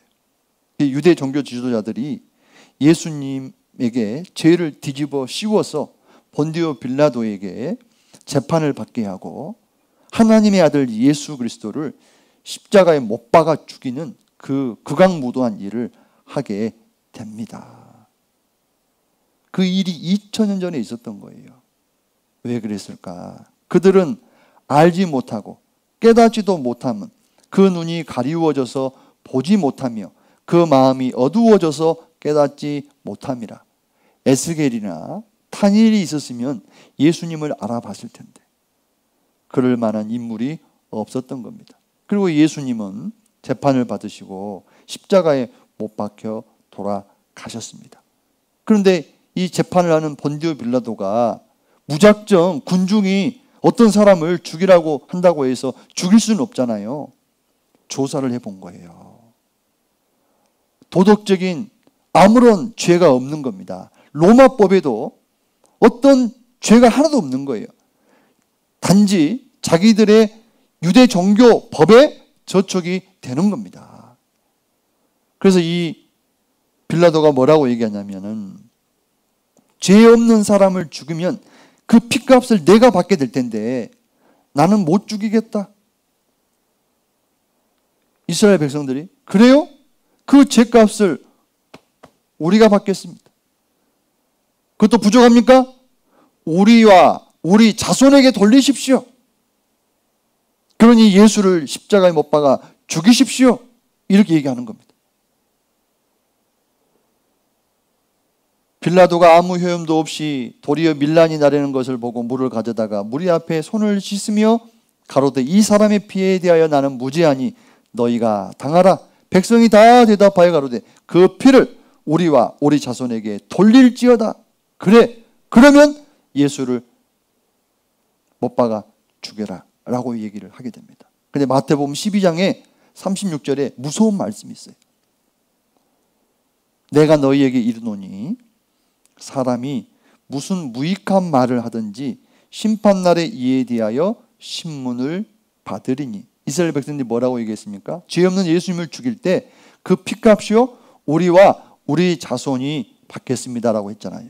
근데 이 말씀대로 됐습니다. 예수님이 2000년에 죽으시고 우리와 우리 자손에게 이 피값을 돌리라고 했는데 놀랍게도 AD 70년에 에루살렘 성이 타이터스 장군에 의해서 멸망당했고 이때 110만 명이 죽었습니다. 그리고 우리 자손들은 어떻게 됐느냐? 온 세상에 뿔뿔이 흩어졌고 약 2000년 동안 방랑 생활을 하게 된 거예요. 모세를 통해서 하나님께서 불순종할 때 받게 될 형벌의 내용에다가 예수님을 죽인 이 죄값이 합쳐진 겁니다. 이 역사가 이스라엘의 역사입니다. 이게 이제 상상으로 그려놓은 건데요. 예루살렘은 AD 70년에 로마에 의해서 멸망을 당했습니다. 이때 110만 명이 죽었고 그리고 모세를 통해서 이 불순종했을 때의 벌과 그리고 예수님을 죽인 벌이 이제 합쳐진 결과로 인해서 이스라엘 백성들이 무려 2000년 동안 고생을 하게 됐는데요. 이 일이 있기 1500년 전에 지금부터는 3500년 전에 레이기 성경에 똑같은 내용이 나와요. 내가 너희를 열방 중에 흩을 것이요. 열방 중에 흩을 것이 온 세상에 흩어 버린다는 겁니다. 그리고 칼을 빼어 너희를 따르게 하리니 여러분 저가지 큰 등치도요. 등치 그러니까 저만한 사람이 뒤에서 갑자기 막 빠른 걸 쫓아오면요. 저도 이렇게 된다니까요. 무서워요. 제가 제일 무서워하는 게 개입니다. 개. 제가 어디 신방을 갔는데 개가 큰 저만 해요. 이제 큰 개가 있어요. 제가 당당하게 걸어갔죠. 그 제 눈이 목줄이 있겠지 싶어서 이제 쭉 갔는데 목줄이 없어요. 저도 모르게 뒷걸음 쳐지더라고요. 어휴. 근데 이스라엘 백성들이 살아가는 그 이방 땅에서 칼이 따라다닌다고 되어 있는 거예요. 그 이유가 무엇입니까? 범죄한 결과입니다. 그 예언의 말씀대로 이스라엘 민족이 환란과 핍박을 당했다면 성경이 사실인 거예요. 천국이 있는 거고 지옥도 있는 겁니다. 그리고 땅은 황무하며 너희의 성읍이 황폐하리라 주인 없는 땅이 되는 겁니다. 자, 근데 놀랍게도요. 기원전 4세기부터 기원 후 2세기까지 이 이스라엘 땅에 살고 있었던 이스라엘 민족들이 로마 제국의 영토에 뿔뿔이 흩어지는 그 일이 시작이 됩니다. 그리고 로마 세계에 흩어진 유대인들의 분포도가 나오게 되는데 점점점 시간이 흘러갈수록 더 넓혀져 가는 것을 보게 돼요. 그 예수님께서도 이스라엘이 불순종해서 받게 되는 징계 중에 징벌 중에 가장 큰 것이 무엇이냐면은 열방에 흩어지는 겁니다.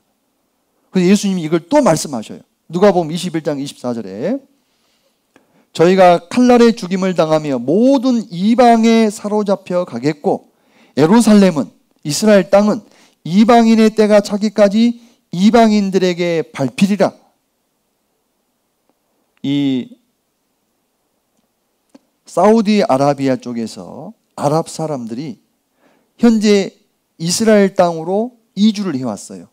그 사람들이 팔레스티나, 팔레스티나라고 불려집니다. 팔레스타인 사람이라고 불려지는 거예요. 그 사람들이 주인이 돼가지고 이스라엘 민족이 독립할 때까지 그, 그 땅에 살고 있었다니까요. 예수님의 이 예언된 말씀대로 그대로 됐다니까요. 그리고 로마 제국 때 AD 135년에 하드리아누스 황제 때 명을 내렸어요. 어떤 명령을 내렸느냐? 이스라엘 사람은 이스라엘 땅에서 단 한 사람도 살 수 없다. 명을 내렸습니다. 명. 법으로 법령을 내려버렸어요. 그 땅에서 떠나야 되는 거예요. 이런 일이 있을 수 있습니까? 성경이 예언된 대로 됐어요. 그리고 열방이라고 했잖아요. 더 넓은 땅으로 옮겨져 가는데 1492년에 이제 북아메리카와 남아메리카로 흩어져 가게 되는 일이 있게 됩니다. 그리고 좀 더 시간이 흘러가면서 AD 1545년에는 러시아 지역으로 흩어지고 또 아시아 지역으로 흩어지고 우리나라에까지도 왔었죠. 일본어들까지도 갔었죠. 그래서 이 성경의 불순종함으로 인해서 이스라엘 백성들에게 내릴 큰 징벌이 무엇이라고요? 온 세상에 흩어버린다는 거예요. 근데 그대로 지금 됐지 않습니까? 3,500년 전 예언이 그대로 성취가 된 겁니다.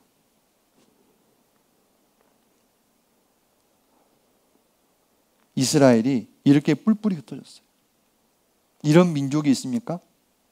이렇게 예언된 말씀이 성취된 것이 있습니까? 내가 너희를 열방 중에 흩을 것이요. 내가 너희를 열방 중에 흩을 것이요. 무려 134개의 나라에 흩어졌습니다.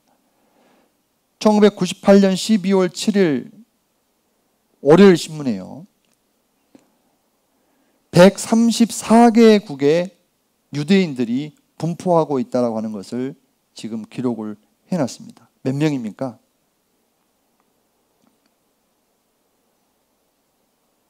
꽤 많은 숫자죠. 1, 10, 100, 1000, 만, 10만, 100만, 1000만. 1800만 정도의 유대인들이 134개국에 지금 살고 있어요. 이걸 보면요. 성경이 사실이라고 하는 것을 부인할 수가 없습니다. 그리고 이스라엘 민족은 그 피를 우리와 우리 자손에게 돌릴지어다라고 했지 않습니까? 그 피값을 받는데 놀라운 일이 벌어집니다. AD 70년에 로마 타이트스 위에서 이스라엘의 수도인 에루살렘이 멸망을 당하고 그리고 AD 135년에 하디라누스 황제가 나머지 도시들을 다 회파시켜 버리고 58만 명을 죽이고 그 땅에 살지 못하도록 하게 됩니다. 그리고 계속해서 이어지는 것을 보게 되면 학살, 학살, 학살이에요. 그리고 여기 대량 학살이 나와요. 2차 세계대전 당시에는 600만 명이 대량 학살을 당하게 됩니다. 칼을 빼어 너희를 따르게 하리니 이 예언이 그대로 성취가 되었습니다. 성읍이 황폐하리라. 땅이 황무하게 되리라. 칼을 빼어 너희를 따르게 하리니 히틀러가요. 2차 세계대전 당시에 이 1차 세계대전의 패배의 원인을 누군가에게 돌려야 되겠다 싶었는데 그 민족이 이스라엘 민족이었습니다. 이 이스라엘 민족은 대부업을 했어요. 그래도 잘 사는 유대인들이 꽤 있었습니다. 그런데 어느 날 법을 발표했는데 그게 뭐냐? 유대인들이 독일을 지배하고 세계를 지배할 계획을 가지고 있다라고 하는 그 포스터를 만들어 가지고 붙이는 거예요. 그래 가지고 1933년 4월에 반유대인법을 시작으로 해서 유대인들을 억압하는 정책을 실시하게 됩니다. 그리고 재산을 몰수하고 집을 뺏고 수용소로 모으고 가스실에서 죽이고 이 민족을 말살하는 그러한 일을 하게 된 거예요. 독일에 이게 독일 지도인데요. 이 작센이라고 하는 이곳에 수용소를 만들어 놓고 이 유대인들을 정말 비참하게 죽이는 일이 있었고 또 유럽에 있는 흩어져 있는 유대인들을 폴란드라고 하는 나라에 끌어모았는데요. 이 아우스비츠라고 하는 이 도시로 끌어모았어요. 여기 끌어모아 가지고 어떤 일이 있었느냐? 이게 이제 야드바셈 홀로코스트 역사 박물관인데 제가 이곳에를 가봤어요. 그때 당시에 600만 명이 죽임을 당했는데 영상, 필름, 그 다음에 어떤 유품 이런 것들을 전시를 해놨습니다. 그리고 그들에게 말하기를 노동이 그대를 자유케 하리라. 그들에게는 진정한 자유가 없었습니다. 이게 이제 수용소 모습입니다. 어마어마하게 많죠. 지금도 이 수용소가 남겨져 있습니다. 아, 징계에 대한 구체적인 예를 들어보면은 이사야 성경에 하나님이 이렇게 말씀하셨습니다. 너희가 계속해서 불순종하면은 이러한 징계를 받게 될 것이다. 그때 썩은 냄새가 향을 대신하고 노꾼이 뜰을 대신하고 대머리가 숱한 머리털을 대신하고 굵은 배옷이 화려한 옷을 대신하고 자자한 흔적이 고운 얼굴을 대신할 것이며 완전히 망했다는 거예요. 완전히 망했다는 거예요. 근데 이 말씀대로 이 말씀대로 대머리가 숱한 머리털을 대신한다고 돼 있죠. 그대로 이루어졌습니다.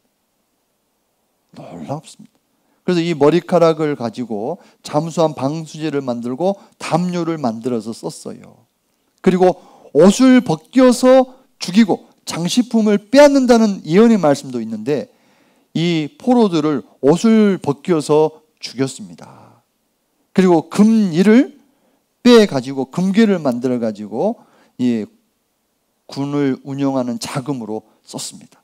또 생체 실험을 하게 되는 일이 있을 것이 예언이 되어져 있는데 에스겔 성경에는 코와 귀를 깎아버리고 남은 자를 칼로 엎드러뜨리며 내 자녀를 빼앗고 그 남은 자는 불에 살라버린다고 되어 있는데 이 예언의 말씀도 정확하게 성취가 됐습니다. 의학 실험의 인체가 제공이 됐고 유대인 40만 명이 실험용으로 죽었습니다. 실험용으로. 살아있는 사람에게 균을 넣어본 거예요.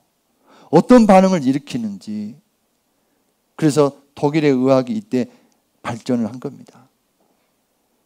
그리고 많은 사람들을 이제 전 유럽에서 옷을 입고 가방을 들고 왔을 거 아니에요. 소, 자기가 가지고 있던 그런 소지품을 정리정돈하게 하고 옷을 벗고 목욕을 시켜준다고 이 창고 안에 들여 넣어요. 목욕탕이라고 속이는 겁니다. 근데 들어가 보면 그게 뭐가 있느냐? 이게 가스실입니다. 그러니까 도망가지 못하도록 6,000볼트의 고압 전류가 흐르는 철조망을 만들어 놓고 이제 그들이 들어갔는데 지글롬비라고 하는 이 독가스가 나오는데 이 한 통이면 500명을 죽인대요. 이때 하루에 만 명씩 죽었다고 합니다. 어마어마한 거예요. 자, 이 이스라엘의 역사를 가만히 보면은 이 순종했을 때 하나님이 축복해 주시는 것, 또 불순종했을 때 성경에 기록되어져 있는 항목대로 이루어진 것을 보면 참 무섭지 않습니까? 근데 하나님이 오랫동안 경고하셨고, 그리고 정말 도저히 안 되는 상황에서 어쩔 수 없이 하나님이 공의를 실행하신 겁니다. 1945년 4월 13일에 미군의 진주로 독일군들이 미처 매장되지 못하고 버린 유대인들의 시체입니다. 시체가 이렇게 널브러져 있어요. 와, 마음 이게 다 시체예요. 이거 어떻게 생각하십니까? 자, 이게 다 널브러진 게 송장입니다. 불도저로 송장을 치고 있습니다. 빌라도가 아무 효염도 없이 도리어 밀란이 나려는 것을 보고 물을 가져다가 무리 앞에서 손을 씻으며 가로되 이 사람의 피에 대하여 나는 무죄하니 너희가 당하라.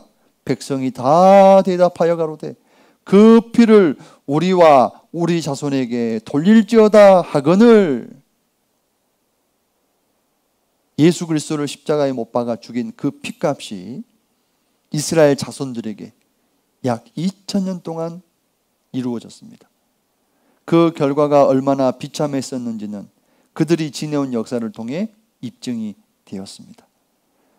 예루살렘아, 예루살렘아, 선지자들을 죽이고 내게 파송된 자들을 돌로 치는 자여 예수님이 하신 말씀입니다. 암탉이 그 새끼를 날개 아래 몸같이 내가 내 자녀를 모려 한 일이 몇 번이냐? 하나님은 이스라엘만 부르신 게 아니에요. 여러분도 부르셨습니다. 그런데 듣지 않으셨던 거예요. 먹고 마시고 시집가고 장가가는 일에만 관심이 많았습니다. 이번에 시간을 내서 성경을 공부하고 계시잖아요. 하나님이 참으로 계신다는 것을 알으셨으면 좋겠어요. 하나님은 이스라엘이 멸망하는 것을 원치 않았습니다. 그리고 이때 당시 2차 세계대전 당시에 600만 명이 죽임을 당했습니다. 자, 그러면 자, 이, 이 이야기를 좀 하고 마무리를 하겠습니다. 순종했을 때, 이스라엘 민족이 순종했을 때 있잖아요. 이스라엘 모든 사람들이 축복을 받았을까요? 아닙니다. 그 순종의 시간대에도 불순종하는 사람이 있어요.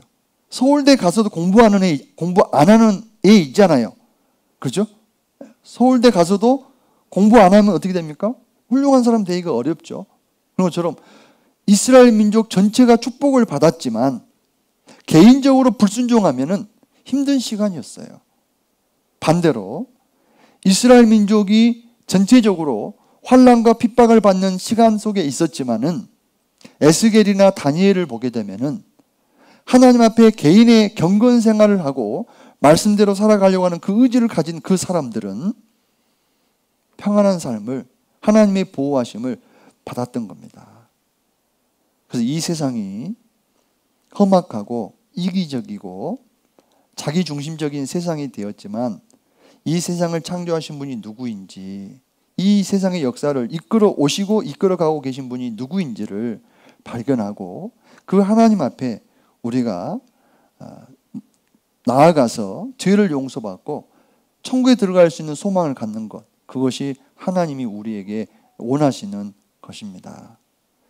그래서 이스라엘 민족이 어떻게 왜 선택을 받게 되었고 또 하나님이 이스라엘 민족을 통해서 순종했을 때 축복해 주셨고 불순종했을 때 벌을 주심으로 올바른 길을 걷도록 그런지 남은 한 시간 동안에 전해지는 말씀은 이 이스라엘 민족이요 정신을 차립니다. 정신을 차려가지고요 놀라운 민족이 돼요. 그거에 대해서 살펴보도록 하겠습니다. 예, 5분간 쉬도록 하겠습니다.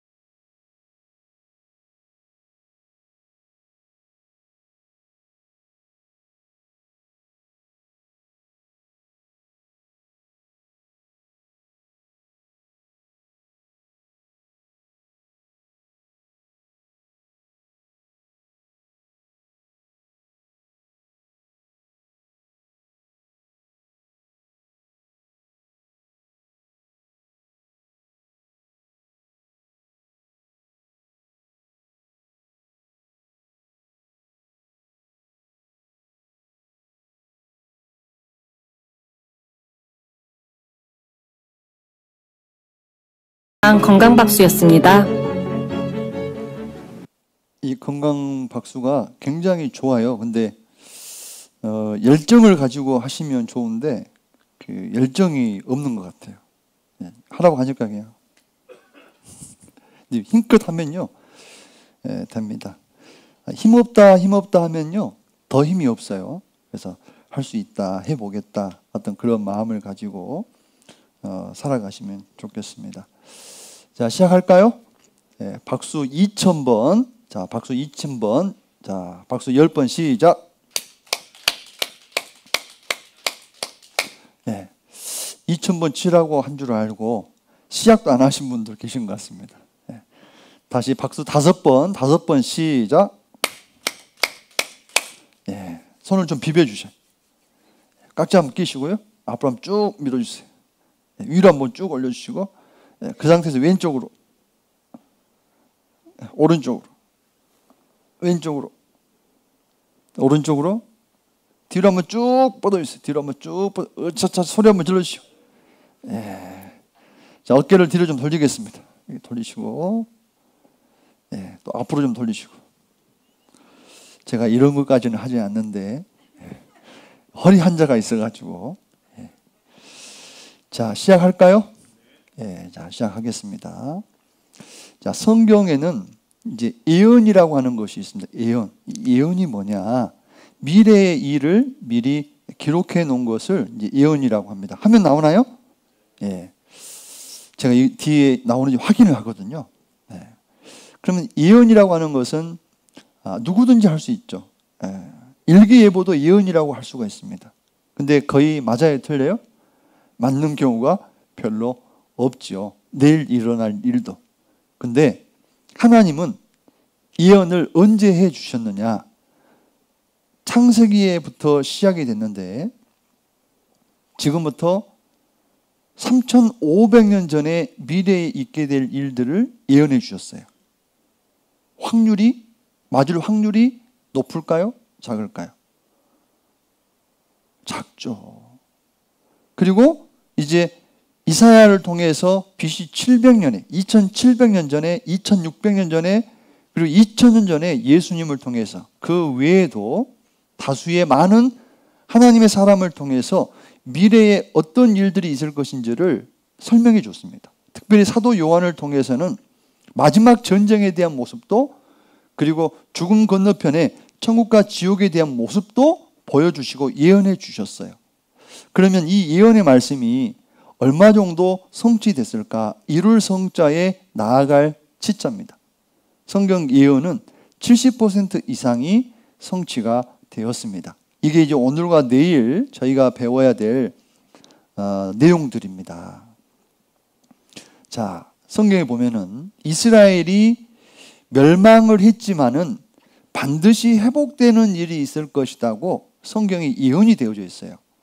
이런 뼈가 다시 살 수 있겠습니까? 불가능해 보입니다. 제가 보기에는. 근데 하나님은 이렇게 말씀하십니다. 신명기 4장 25절에 내가 그 땅에서 아들을 낳고 손자를 얻으며 웬 카톡이 떴네요. 죄송합니다.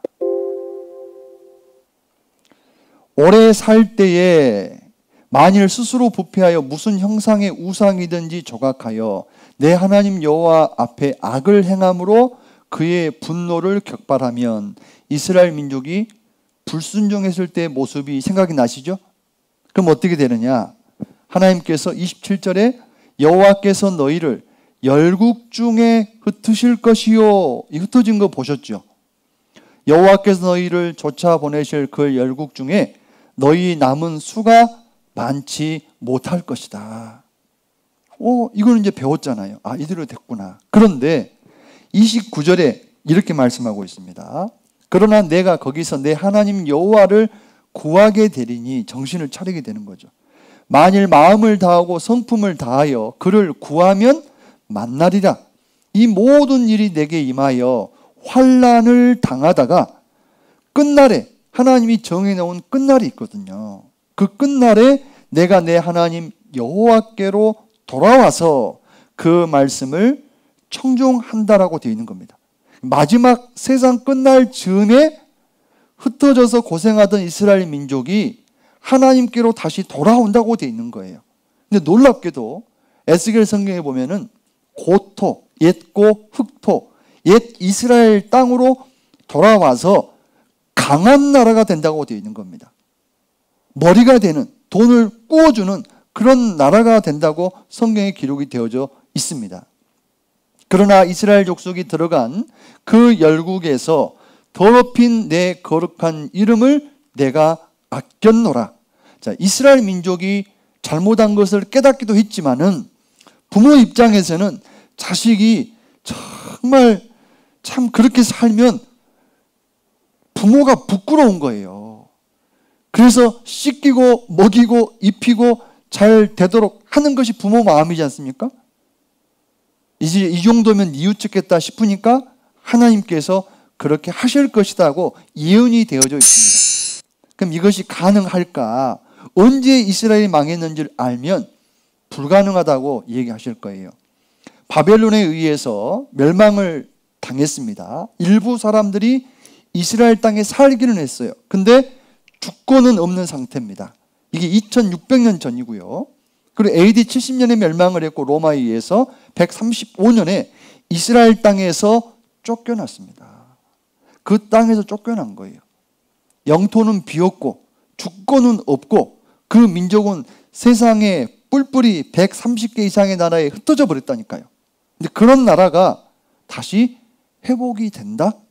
그것도 강한 나라가 된다?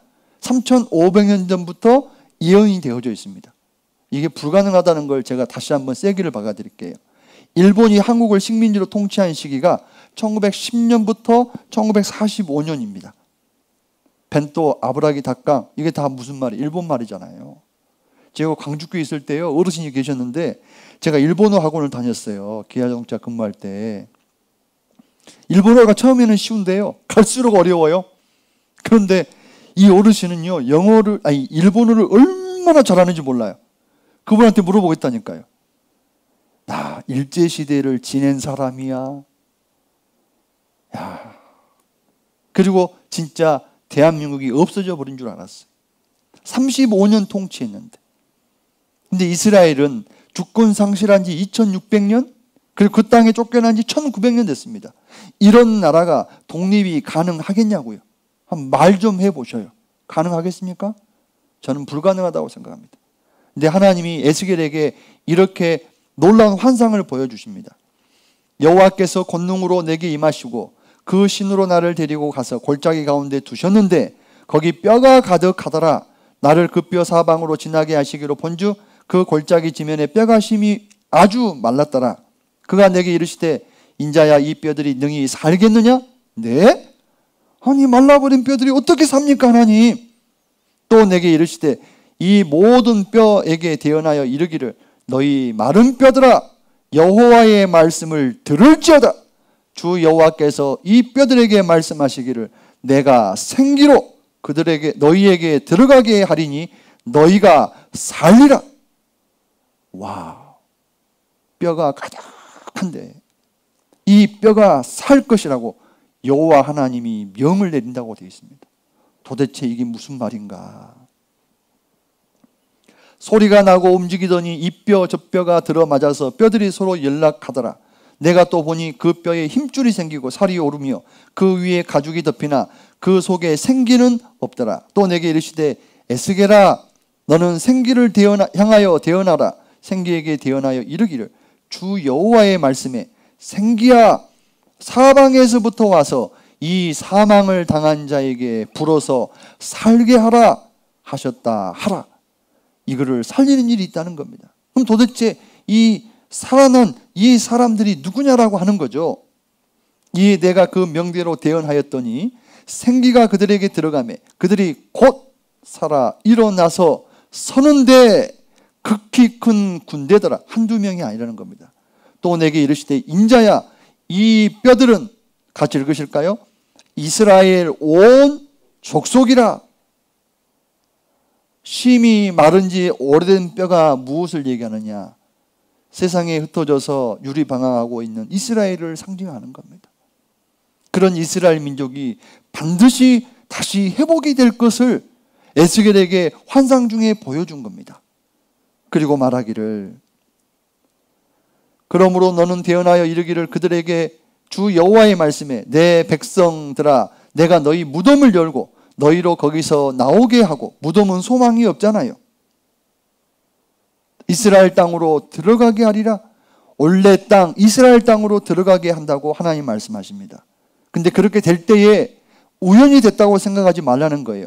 내 백성들아 내가 너희 무덤을 열고 너희로 거기서 나오게 한즉 너희가 나를 여호와인 줄 알리라. 이렇게 하시는 주체가 주인이 여호와 하나님이시라는 거예요. 그리고 에스겔 37장 14절에도 내가 또 내 신을 너희 속에 두어 너희로 살게 하고 내가 또 너희를 너희 고토에 거하게 하리니 나 여호와가 이 일을 말하고 이룬 줄을 너희가 알리라. 오늘 여러분이 이걸 확인하셔야 돼요. 하나님 말씀하셨고 이뤘는지 확인하셔야 됩니다. 그리고 하나님 말씀하기를 에스겔 39장 28절에 또 반복하십니다. 내가 그들을 모아 고토로 돌아오게 하고 그 한 사람도 이방에 남기지 아니하리니 그들이 나를 여호와 자기들의 하나님인 줄 알리라. 반복적으로 말씀하시죠. 반드시 돌아오게 한다. 이스라엘 땅으로 소망 없던 그들에게 소망을 주신다고 말씀하고 계시는 겁니다. 근데 진짜로요. 그렇게 됐습니다. 이스라엘 민족이 멸망을 했는데 1948년도 5월 14일 날 독립을 했는데 이스라엘 땅에 독립을 했습니다. 그 예언의 말씀이 우리 시대에 성취가 돼 버렸어요. 1948년 5월 14일 날 독립을 하고 난 이후에 열방에 흩어졌던 이스라엘 민족들이 여러 곳에서 돌아오기 시작합니다. 조만간 이스라엘 사람들이 전 세계에서 한 사람도 남기지 않고 돌아갈 플랜이 짜졌고 그 계획대로 되어져 가고 있다고 지금 이스라엘에서 발표를 했습니다. 열방에 흩어진 이스라엘이 귀환할 것이 스가레라고 하는 선제를 통해서도 예언해 주셨습니다. 내가 그들을 향하여 휘파람을 불어 모을 것은 내가 그들을 구속하였음이니라. 그들이 전에 번성하던 것 같이 번성하리라. 내가 그들을 열방에 뿌리려니와 그들이 원방에서 나를 기억하고 그들의 자녀와 함께 다 생존하여 돌아올지라. 그들만 오는 게 아니라 자녀들이 살아서 돌아온다고 되어 있습니다. 이 스가랴가 살았던 때가 언제냐면은 바벨론 포로 생활을 하다가 이스라엘 땅으로 돌아왔을 때 그때 하신 말씀이에요. 근데 이게 우리 시대에 이루어졌습니다. 그리고 에스겔 20장 34절에 보게 되면은 능한 손과 편팔로 분노를 쏟아 너희를 열국 중에서 나오게 하며 너희의 흩어진 열방 중에서 모아내고 모아내고 모아내는 주체가 하나님이시죠. 그 41절에는 내가 너희를 인도하여 열국 중에서 나오게 하고 너희의 흩어진 열방 중에서 모아낼 때에 내가 너희를 향기로 받고 내가 또 너희로 말미암아 내 거룩함을 열국의 목전에서 나타낼 것이며 세상 모든 사람들이 이스라엘 민족이 이스라엘 땅에 국가를 세우는 것을 보고 놀랜다는 거예요. 하나님이 살아 계시는구나. 라고 하는 것을 알게 되는 일이 있다고 되어져 있습니다. 이스라엘이 300만 명이었을 때에 120개국에서 돌아왔고 83개의 언어를 사용했습니다. 지금은 600만 명 이상의 유대인들이 이스라엘 땅에 살고 있습니다. 그리고 2600년 만에 다시 세워진 나라가 이스라엘입니다. 초대상인 벤 구리온이 독립 선언문을 낭독하고 있습니다. 자, 세계 이슬람 국가가 어마어마하게 많다는 거 아시죠? 예, 무섭, 무서울 정도로 세력이 이제 예, 퍼지고 있는데 이 이슬람 국가 사이에 조그만하게 있었던 나라가 팔레스타인이라고 하는 나라입니다. 팔레스타인이라고 하는 나라예요. 근데 이 땅으로 이스라엘이 모여 들어오는 거예요. 그러니까 주변에 있는 이슬람 국가가 좋아하겠어요? 안 좋아하겠어요? 안 좋아하죠. 그리고 이 땅이 비어있는 땅도 아닌데 그 땅에 들어가서 국가를 세운다는 것 자체가 이거는 불가능한 거예요. 근데 1948년도 5월 14일 날 거기에 국가를 세웠습니다. 자, 2차 세계대전 중에 유럽의 지도를 봤더니 이스라엘이라는 나라 이름이 없잖아요. 팔레스티나, 팔레스타인 이거밖에 없습니다. 이 팔레스타인 여기도 시리아도 이라크도 터키도 이집트도 다 이 이슬람 국가예요. 만약에 여기를 들어가서 이스라엘이 딱 점령하는 순간 어떤 일이 벌어질까요? 주변에서 벌떼같이 달라들어서요. 이 이스라엘을 없애버릴 거예요. 그런 상황인 겁니다. 그런데 이스라엘이 국가가 세워졌잖아요. 2차 세계대전 후에. 근데 아니라 다를까. 팔레스타인이 이슬람 국가잖아요. 그 땅에 들어가서 이스라엘이 국가를 세우니까 주로 주변에 있는 이슬람 국가가요. 힘을 합쳐가지고 이스라엘을 치러 왔습니다. 근데 성경에 이렇게 예언되어 있어요. 그 작은 자가 천을 이루겠고 그 약한 자가 강국을 이룰 것이라. 때가 되면 나 여호와가 속히 이루리라. 하나님이 이루시니까 이스라엘을 쳐서 이길 나라가 없다고 되어 있는 거예요. 약했던 그 나라가 강국이 될 것이라고 예언이 되어져 있습니다. 이렇게 많은 이슬람권 나라가요. 이스라엘을 쳐들어왔습니다. 언제 쳐들어왔습니까? 1948년도 5월 14일 날 독립했는데 세상에 한 1년 뒤에나 쳐들어오면 좀 덜 밉죠? 그 다음날 전쟁하러 들어왔다니까요. 연합해가지고. 누가 이겼을까요? 이스라엘이 승리를 하고 휴전을 하게 됩니다.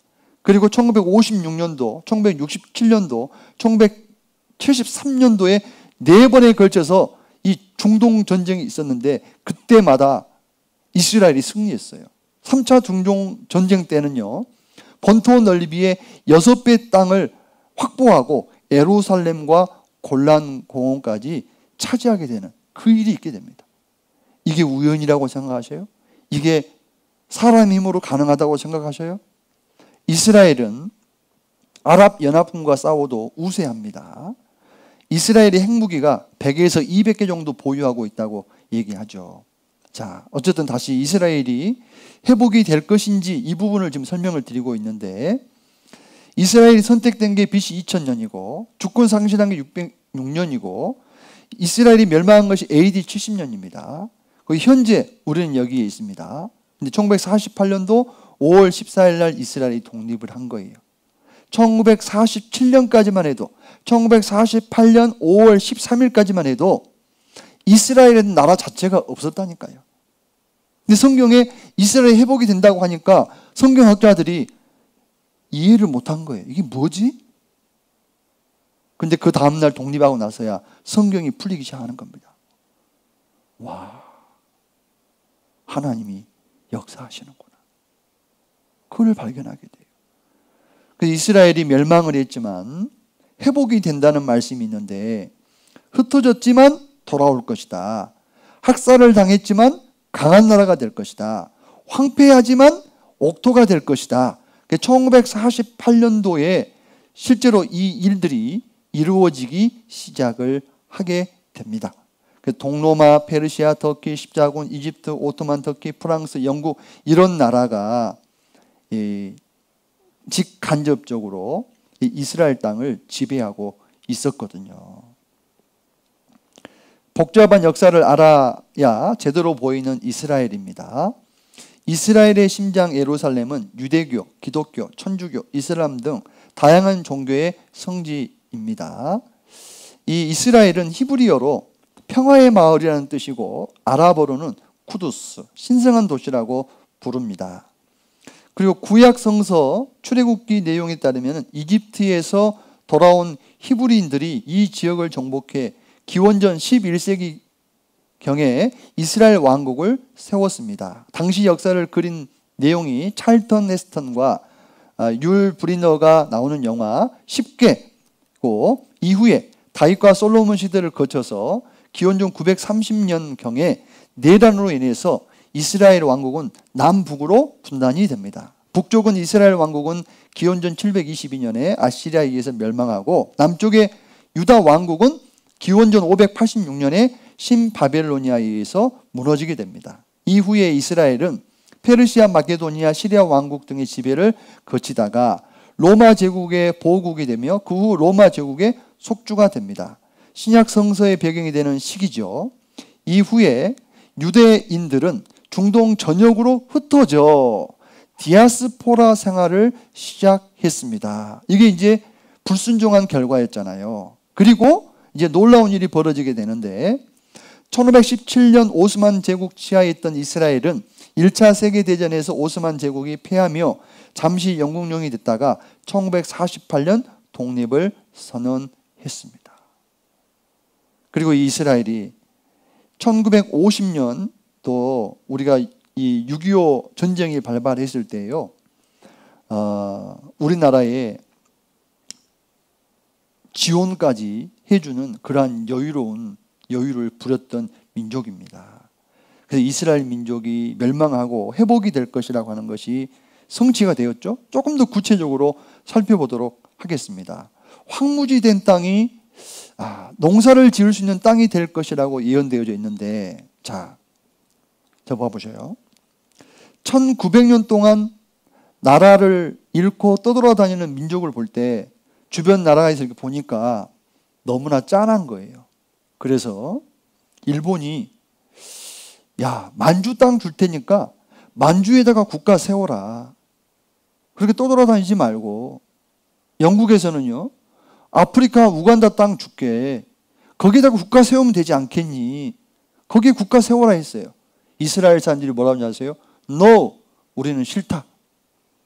하나님이 반드시 이스라엘 땅에 다시 국가를 세우도록 하시겠다고 하셨다. 근데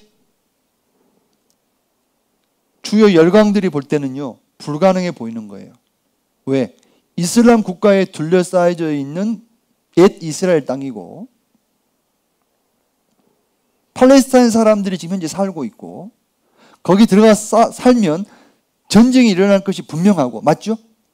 그러니까 다른 나라를 준다고 했는데도 안 가는 거예요. 만약에 다른 지역에다가 국가를 세웠으면 성경은 버려져야 될 거예요. 이스라엘에게 국가를 세우도록 권유한 땅이 무려 20여 곳이나 됩니다. 하나님은 너희를 흩은 열방 가운데서 모아내고 이스라엘 땅으로 너희에게 주셨다 하라. 그런데 이스라엘 땅에 국가를 세웠습니다. 이스라엘 땅이 아주 좋은 땅일까요? 빵이 있는데요. 60%는 못 먹는 빵이에요. 광야예요, 광야. 사막입니다, 사막. 그런 사막이에요. 경상도 정도 땅밖에 안 되는데 거기서 60%는 광해라니까요. 그러면 이거 뭐 경상남도 정도 땅밖에 좋은 땅이 조금 없어요. 그런 땅입니다. 비가 오잖아요. 고이질 않아요. 바로 스며들고 사라져 버리는 겁니다. 1921년부터 독립을 해보려고 계속 움직임이 시작이 됐습니다.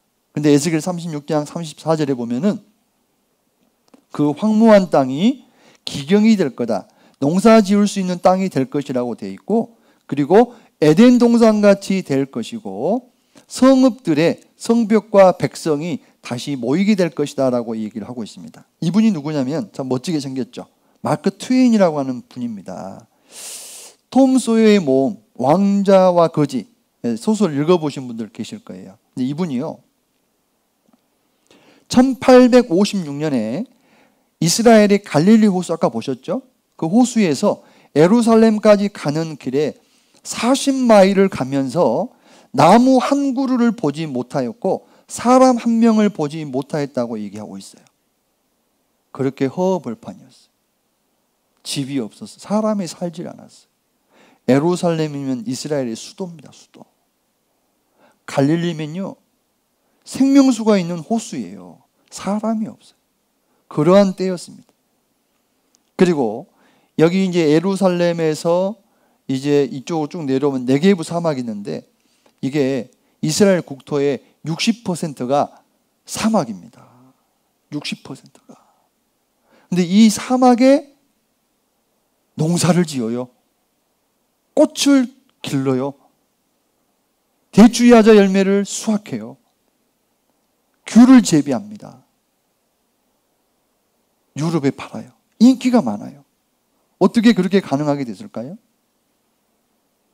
이스라엘에는 갈릴리 호수가 있는데 동서의 길이가 11km, 남북의 길이가 21km나 됩니다. 평균 깊이가 26m고 그리고 이 갈릴리 호수에서 이거 제가 직접 찍어온 사진입니다. 이 수량이 독립하고 난 뒤부터 점점 점점 점점 이렇게 많아지는 거예요. 그리고 이 이스라엘의 생명수가 갈릴리 호수입니다.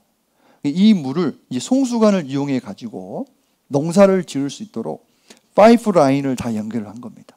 나무 하나에 파이프 라인 하나, 또 채소 하나에 그 호수가 또 지나가고 그 사이에 조그만한 호수 구멍이 나가지고요. 쭉 나오는 게 아니라 일정한 시간이 되면 뚝, 또 일정한 시간이 되면 뚝. 그래서 꼭 그 식물에 필요한 만큼의 물이 공급될 수 있는 그러한 예, 농업 기술을 개발을 하게 됩니다. 그래서 이제 땅 위에로도 물이 통과하고요. 땅 속의 관로를 통해서도 예, 농사를 지을 수 있는 그 물이 공급이 됩니다. 그래서 이렇게 예, 많이 발전을 했고요. 그리고 키부츠 농장이 있는데 키부츠라는 말이 히브리 말로 집단이라는 뜻이에요. 예, 그래서 이제 자기의 재산을 인정해 주는 곳도 있고 인정해 주지 않는 곳도 있습니다. 그래서 이렇게 농사를 짓고 있고요. 이렇게 아름답게 바뀌었습니다. 그리고 이스라엘이 꽃이 피고 농작물은 세계로 수출을 할 것이 예언이 되어져 있는데 이사야 27장 6절에 보면은 후일에는 야곱의 뿌리가 박히며 이스라엘의 um이 돋고 꽃이 필 것이라 그들이 그 결실로 결실로 지면에 채우리로다. 근데 이 말씀대로 이루어졌습니다. 이스라엘이 회복된 뒤에 강수량이 증가하고 관계 기술이 발달하고 농작물 또 꽃 수출을 하고 유럽의 감귤류의 80%가 이스라엘에서 생산하고 있는 겁니다. 목화, 꽃, 스프링클을 이용해서 식물을 재배하고요. 그리고 농작물 수출로 3,800억 어, 소득을 내고 사막이 이스라엘을 이제 먹여 살린다. 골칫덩어리가 아니라고 하는 거예요. 이 농업 방법이 뭐냐면은 점적 관수라고 하는 겁니다. 호수가 지나가서 물이 한 방울씩 떨어뜨려지는 겁니다. 황무지를 옥토로 만든 이스라엘입니다. 바닷물도 민물로 만드는 그런 기술을 가지고 있어요. 자, 이 포도나무 농사를 짓는데 한 사람이 이런 얘기를 합니다. 한번 잘 들어보셔요. For centuries, these regions were covered with vibrant, fertile grapevines. But after the destruction of Jerusalem in 70 AD, the Romans uprooted the vines and took them to Italy.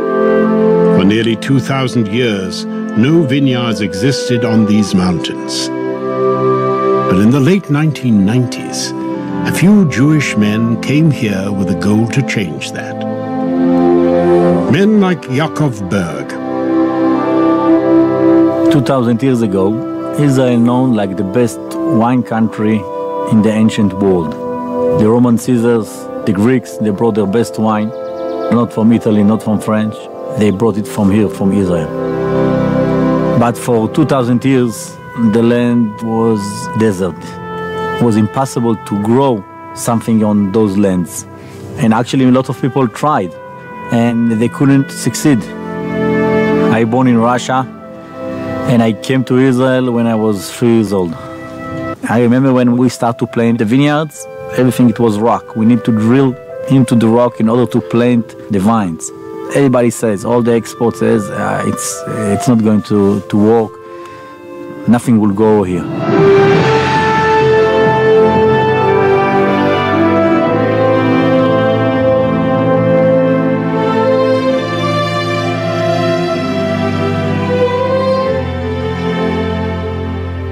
I don't think it's something that we can really understand.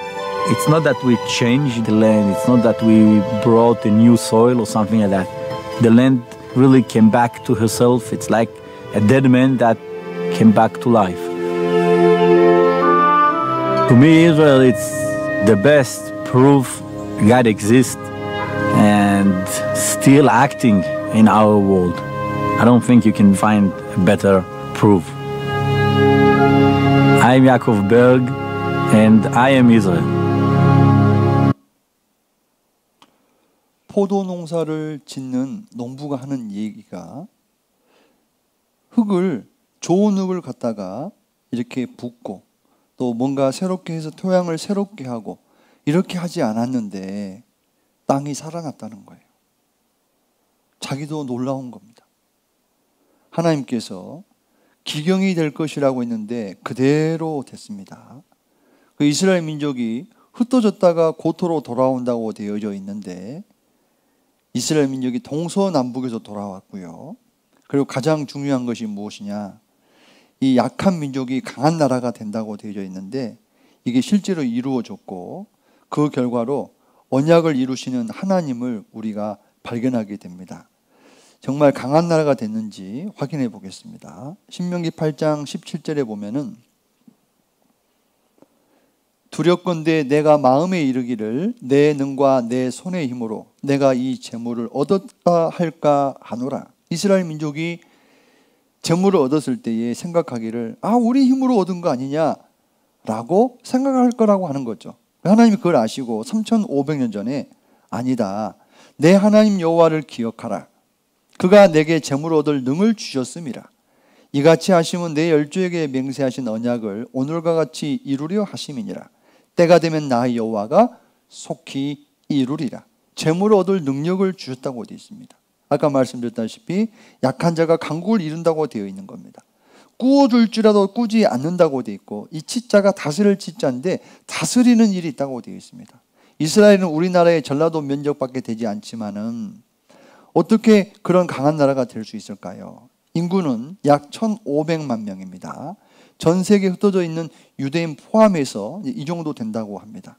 자, 이게 이 이스라엘의 땅인데 60%가 사막이잖아요. 근데 이 사막을 개간해가 지금 농사를 짓고 있습니다. 자, 돈 얘기 좀 해보죠.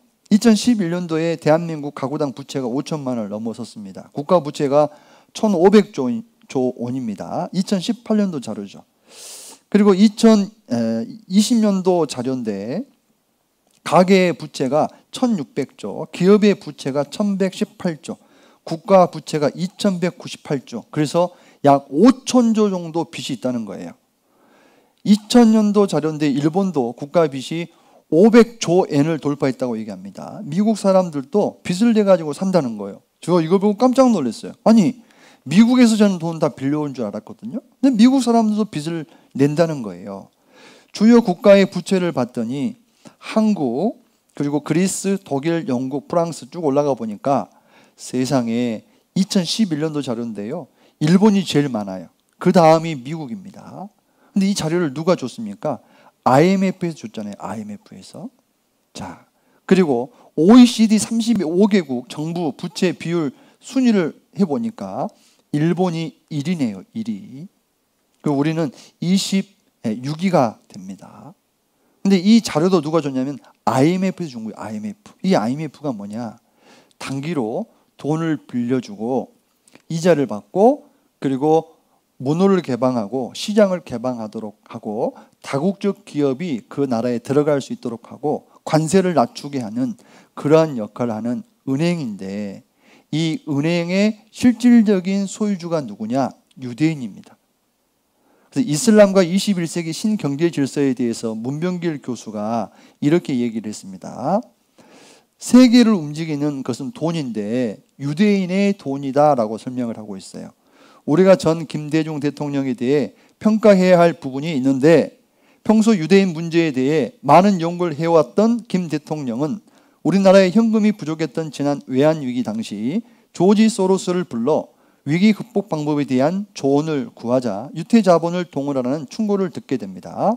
그 결과 우리나라는 3년 만에 외환 위기를 극복할 수 있었던 것이죠. 그런 의미에서 우리가 유태 문제를 소홀히 해서는 안 된다는 거죠. 자, 우리는 IMF에서 돈을 빌려왔잖아요. 근데 누구한테 돈을 빌리라고 얘기하고 있죠? 유대인들에게 돈을 빌리라고 얘기하고 있잖아요. 유대 자본을 동원하라고 충고를 받았다고 하잖아요. IMF에서 돈을 빌려왔잖아요. 그게 유태 자본인 겁니다. 유태인은 단순히 많은 돈을 거머쥐고 있는 부자가 아닙니다. 이들이 얘기하는 시오니즘이라고 하는 것은 잘 보셔요. 앞으로 세계를 세상을 하나로 묶겠다는 엄청난 야심을 내포하고 있습니다. 세계는 저절로 움직여가는 것이 아니라 분명 어떤 의도된 힘에 의해서 움직이고 있는 것입니다. 잠언 22장 7절에는 부자는 가난한 자를 주관하고 빚진 자는 체주의 종이 된다고 되어 있는데 이 부자가 누구냐? 이스라엘입니다. 가난한 자는 누굽니까? 아까 보셨죠. 모든 나라들이 여기 해당이 되는 겁니다. 온 세상이 여기 해당이 되는 거예요. 그럼 어디에서 돈을 빌리는 것일까? 미국은 미국 내에 있는 연방준비은행 FRB에서 돈을 빌립니다. 이 기관은 국가 소유가 아닙니다. 원래 국가 소유였지만 정치적인 혼란을 틈타서 소유권을 넘겨받은 법안이 통과되어 버렸습니다. 미국마저도 경제적 혼란이 시작되면 이 기관에서 돈을 빌립니다. 이 은행이 FRB죠. FRB.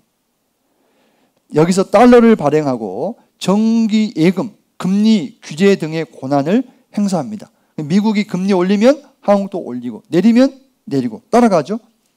미국 정부의 통제를 받지 않는 독립적인 민간 기관이 FRB입니다. 연방준비은행입니다. 그이 FRB도 있고 IMF도 있고 BIS도 있고 IBRD도 있습니다. 이 대표적인 기구를 조절, 조정하는 리더들이 누구냐면은 로스차일드 가문과 록펠러 가문인데 이 록펠러는 주로 미국에서 로스차일드 가는 미국과 유럽에서 이 돈을 거머쥐고 있습니다. 그래서 이제 세계 정상들이 빚이 너무 많으니까 야 이거를 좀 어떻게 해결할 수 있지?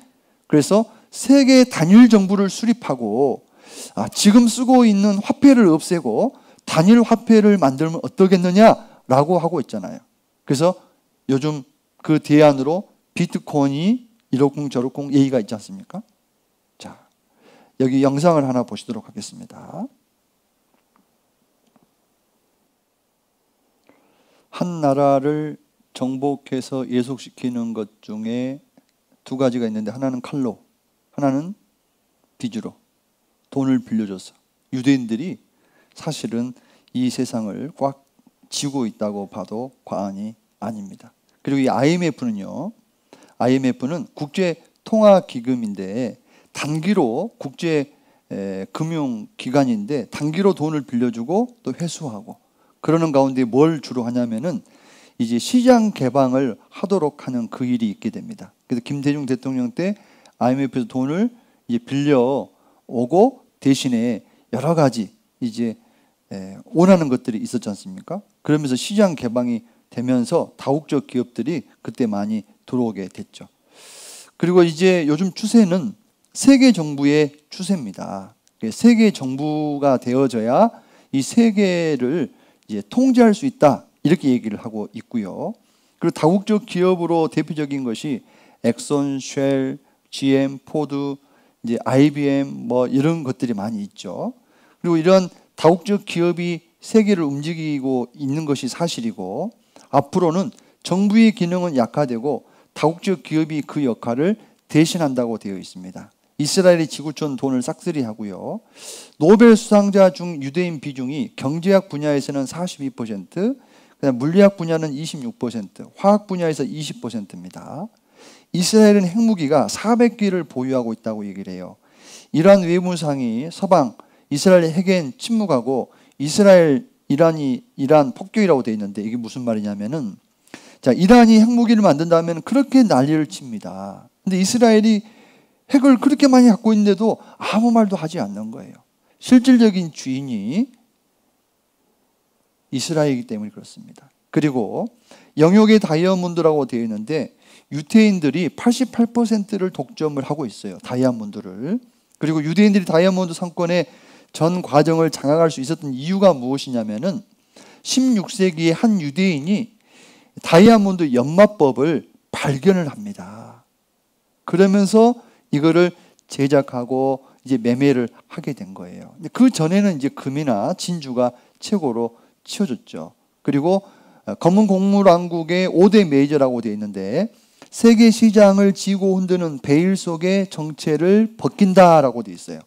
도대체 누가 곡물을 사고 팔고 실질적인 주인이 누구냐라고 하는 거죠. 그리고 회사가 많은데 카길, 콘티넨탈, 드리피스, 붕괴, 앙드레인데 살펴봤더니 다 유대인 거예요, 유대인 거. 예. 그리고 세계 5대 메이저가 있는데 카길, 그 다음에 이제 붕괴, 앙드레 이 모든 것이 유대인 경영권을 장악하고 있고 지구촌 곡물 교역량의 80% 이상을 지배하고 있습니다. 대한민국에는 카길이라고 하는 유대인 회사가 들어와서 60% 이상을 차지하고 있습니다. 검은 황금의 지배자들, 석유를 말합니다. 석유 생산의 63%, 거래의 80%를 지고 있는데 이 주인이 유대인이에요. 액션 모빌이 하루에 1조씩 기름을 팝니다. 등소평도 유태인입니다. 모택통도 객가이란 말은 유대인이라는 뜻입니다. 러시아 혁명을 위해서 움직인 사람들이 있는데 록펠러 가문과 로스차일드 가문에서 돈을 대가지고 혁명이 일어난 겁니다. 그리고 유럽과 미국 금융계를 장악하고 있는 유대인이 있는데 바로 로스차일드 가문입니다. 당시 종교적 박해로 직업을 가질 수 없었던 유대인들이 했던 일이 뭐냐면은 은행 일입니다. 대금업을 담당하게 되었어요. 근데 이것은 누군가가 꼭 해야만 했던 그러한 일입니다. 근데 이런 돈놀이를 통해 가지고 로스차일드 가문이 돈을 벌었는데 8대째 이혼 유서 깊은 대부 금융 재벌입니다.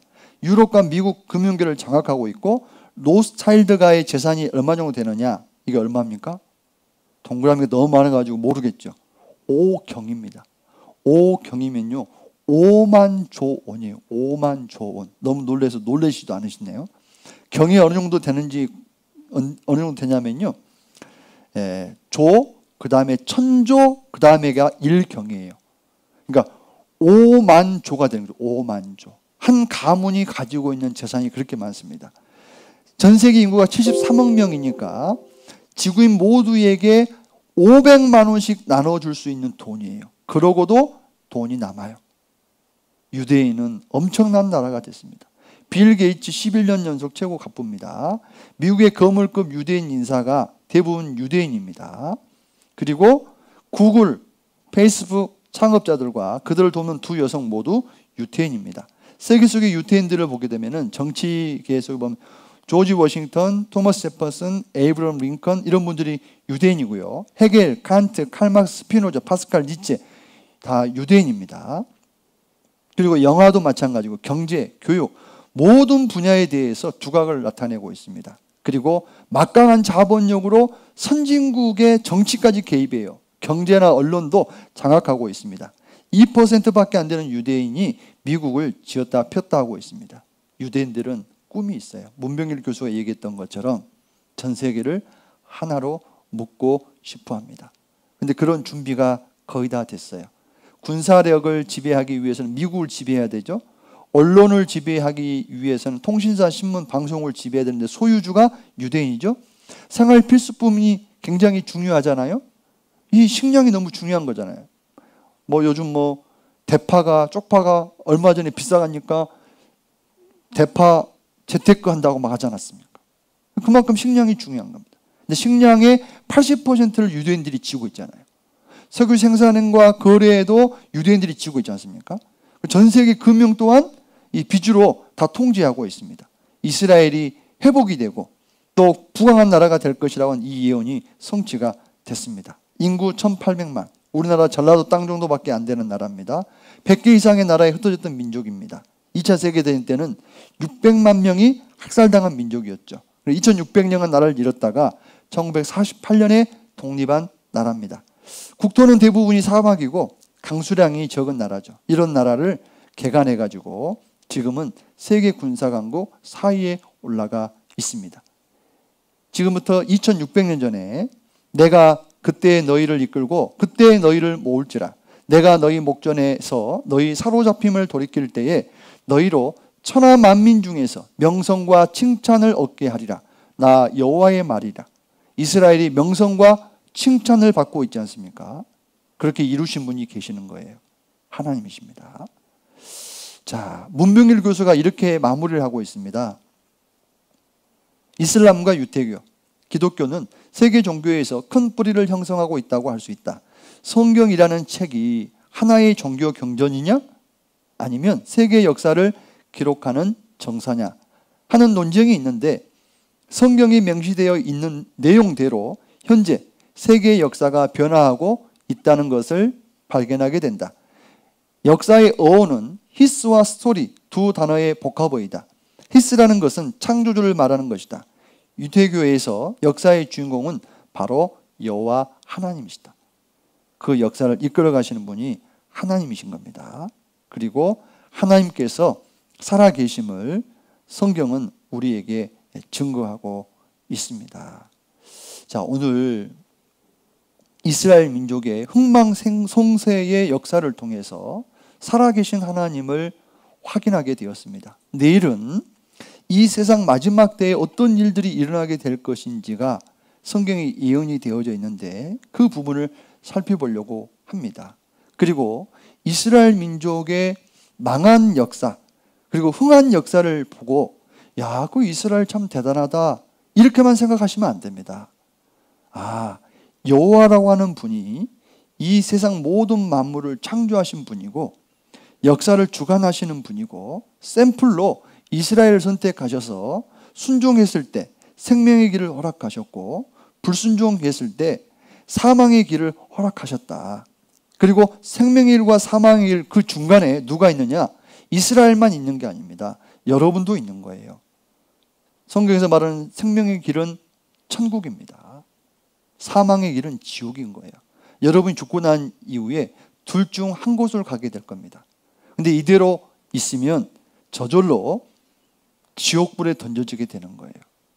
하나님은 이것을 아셨기 때문에 이스라엘 민족을 불러서 이 사실을 알려주셨고 또 여러분 주변에 있는 사람들을 먼저 구원하셔서 이 사실을 전하도록 하신 겁니다.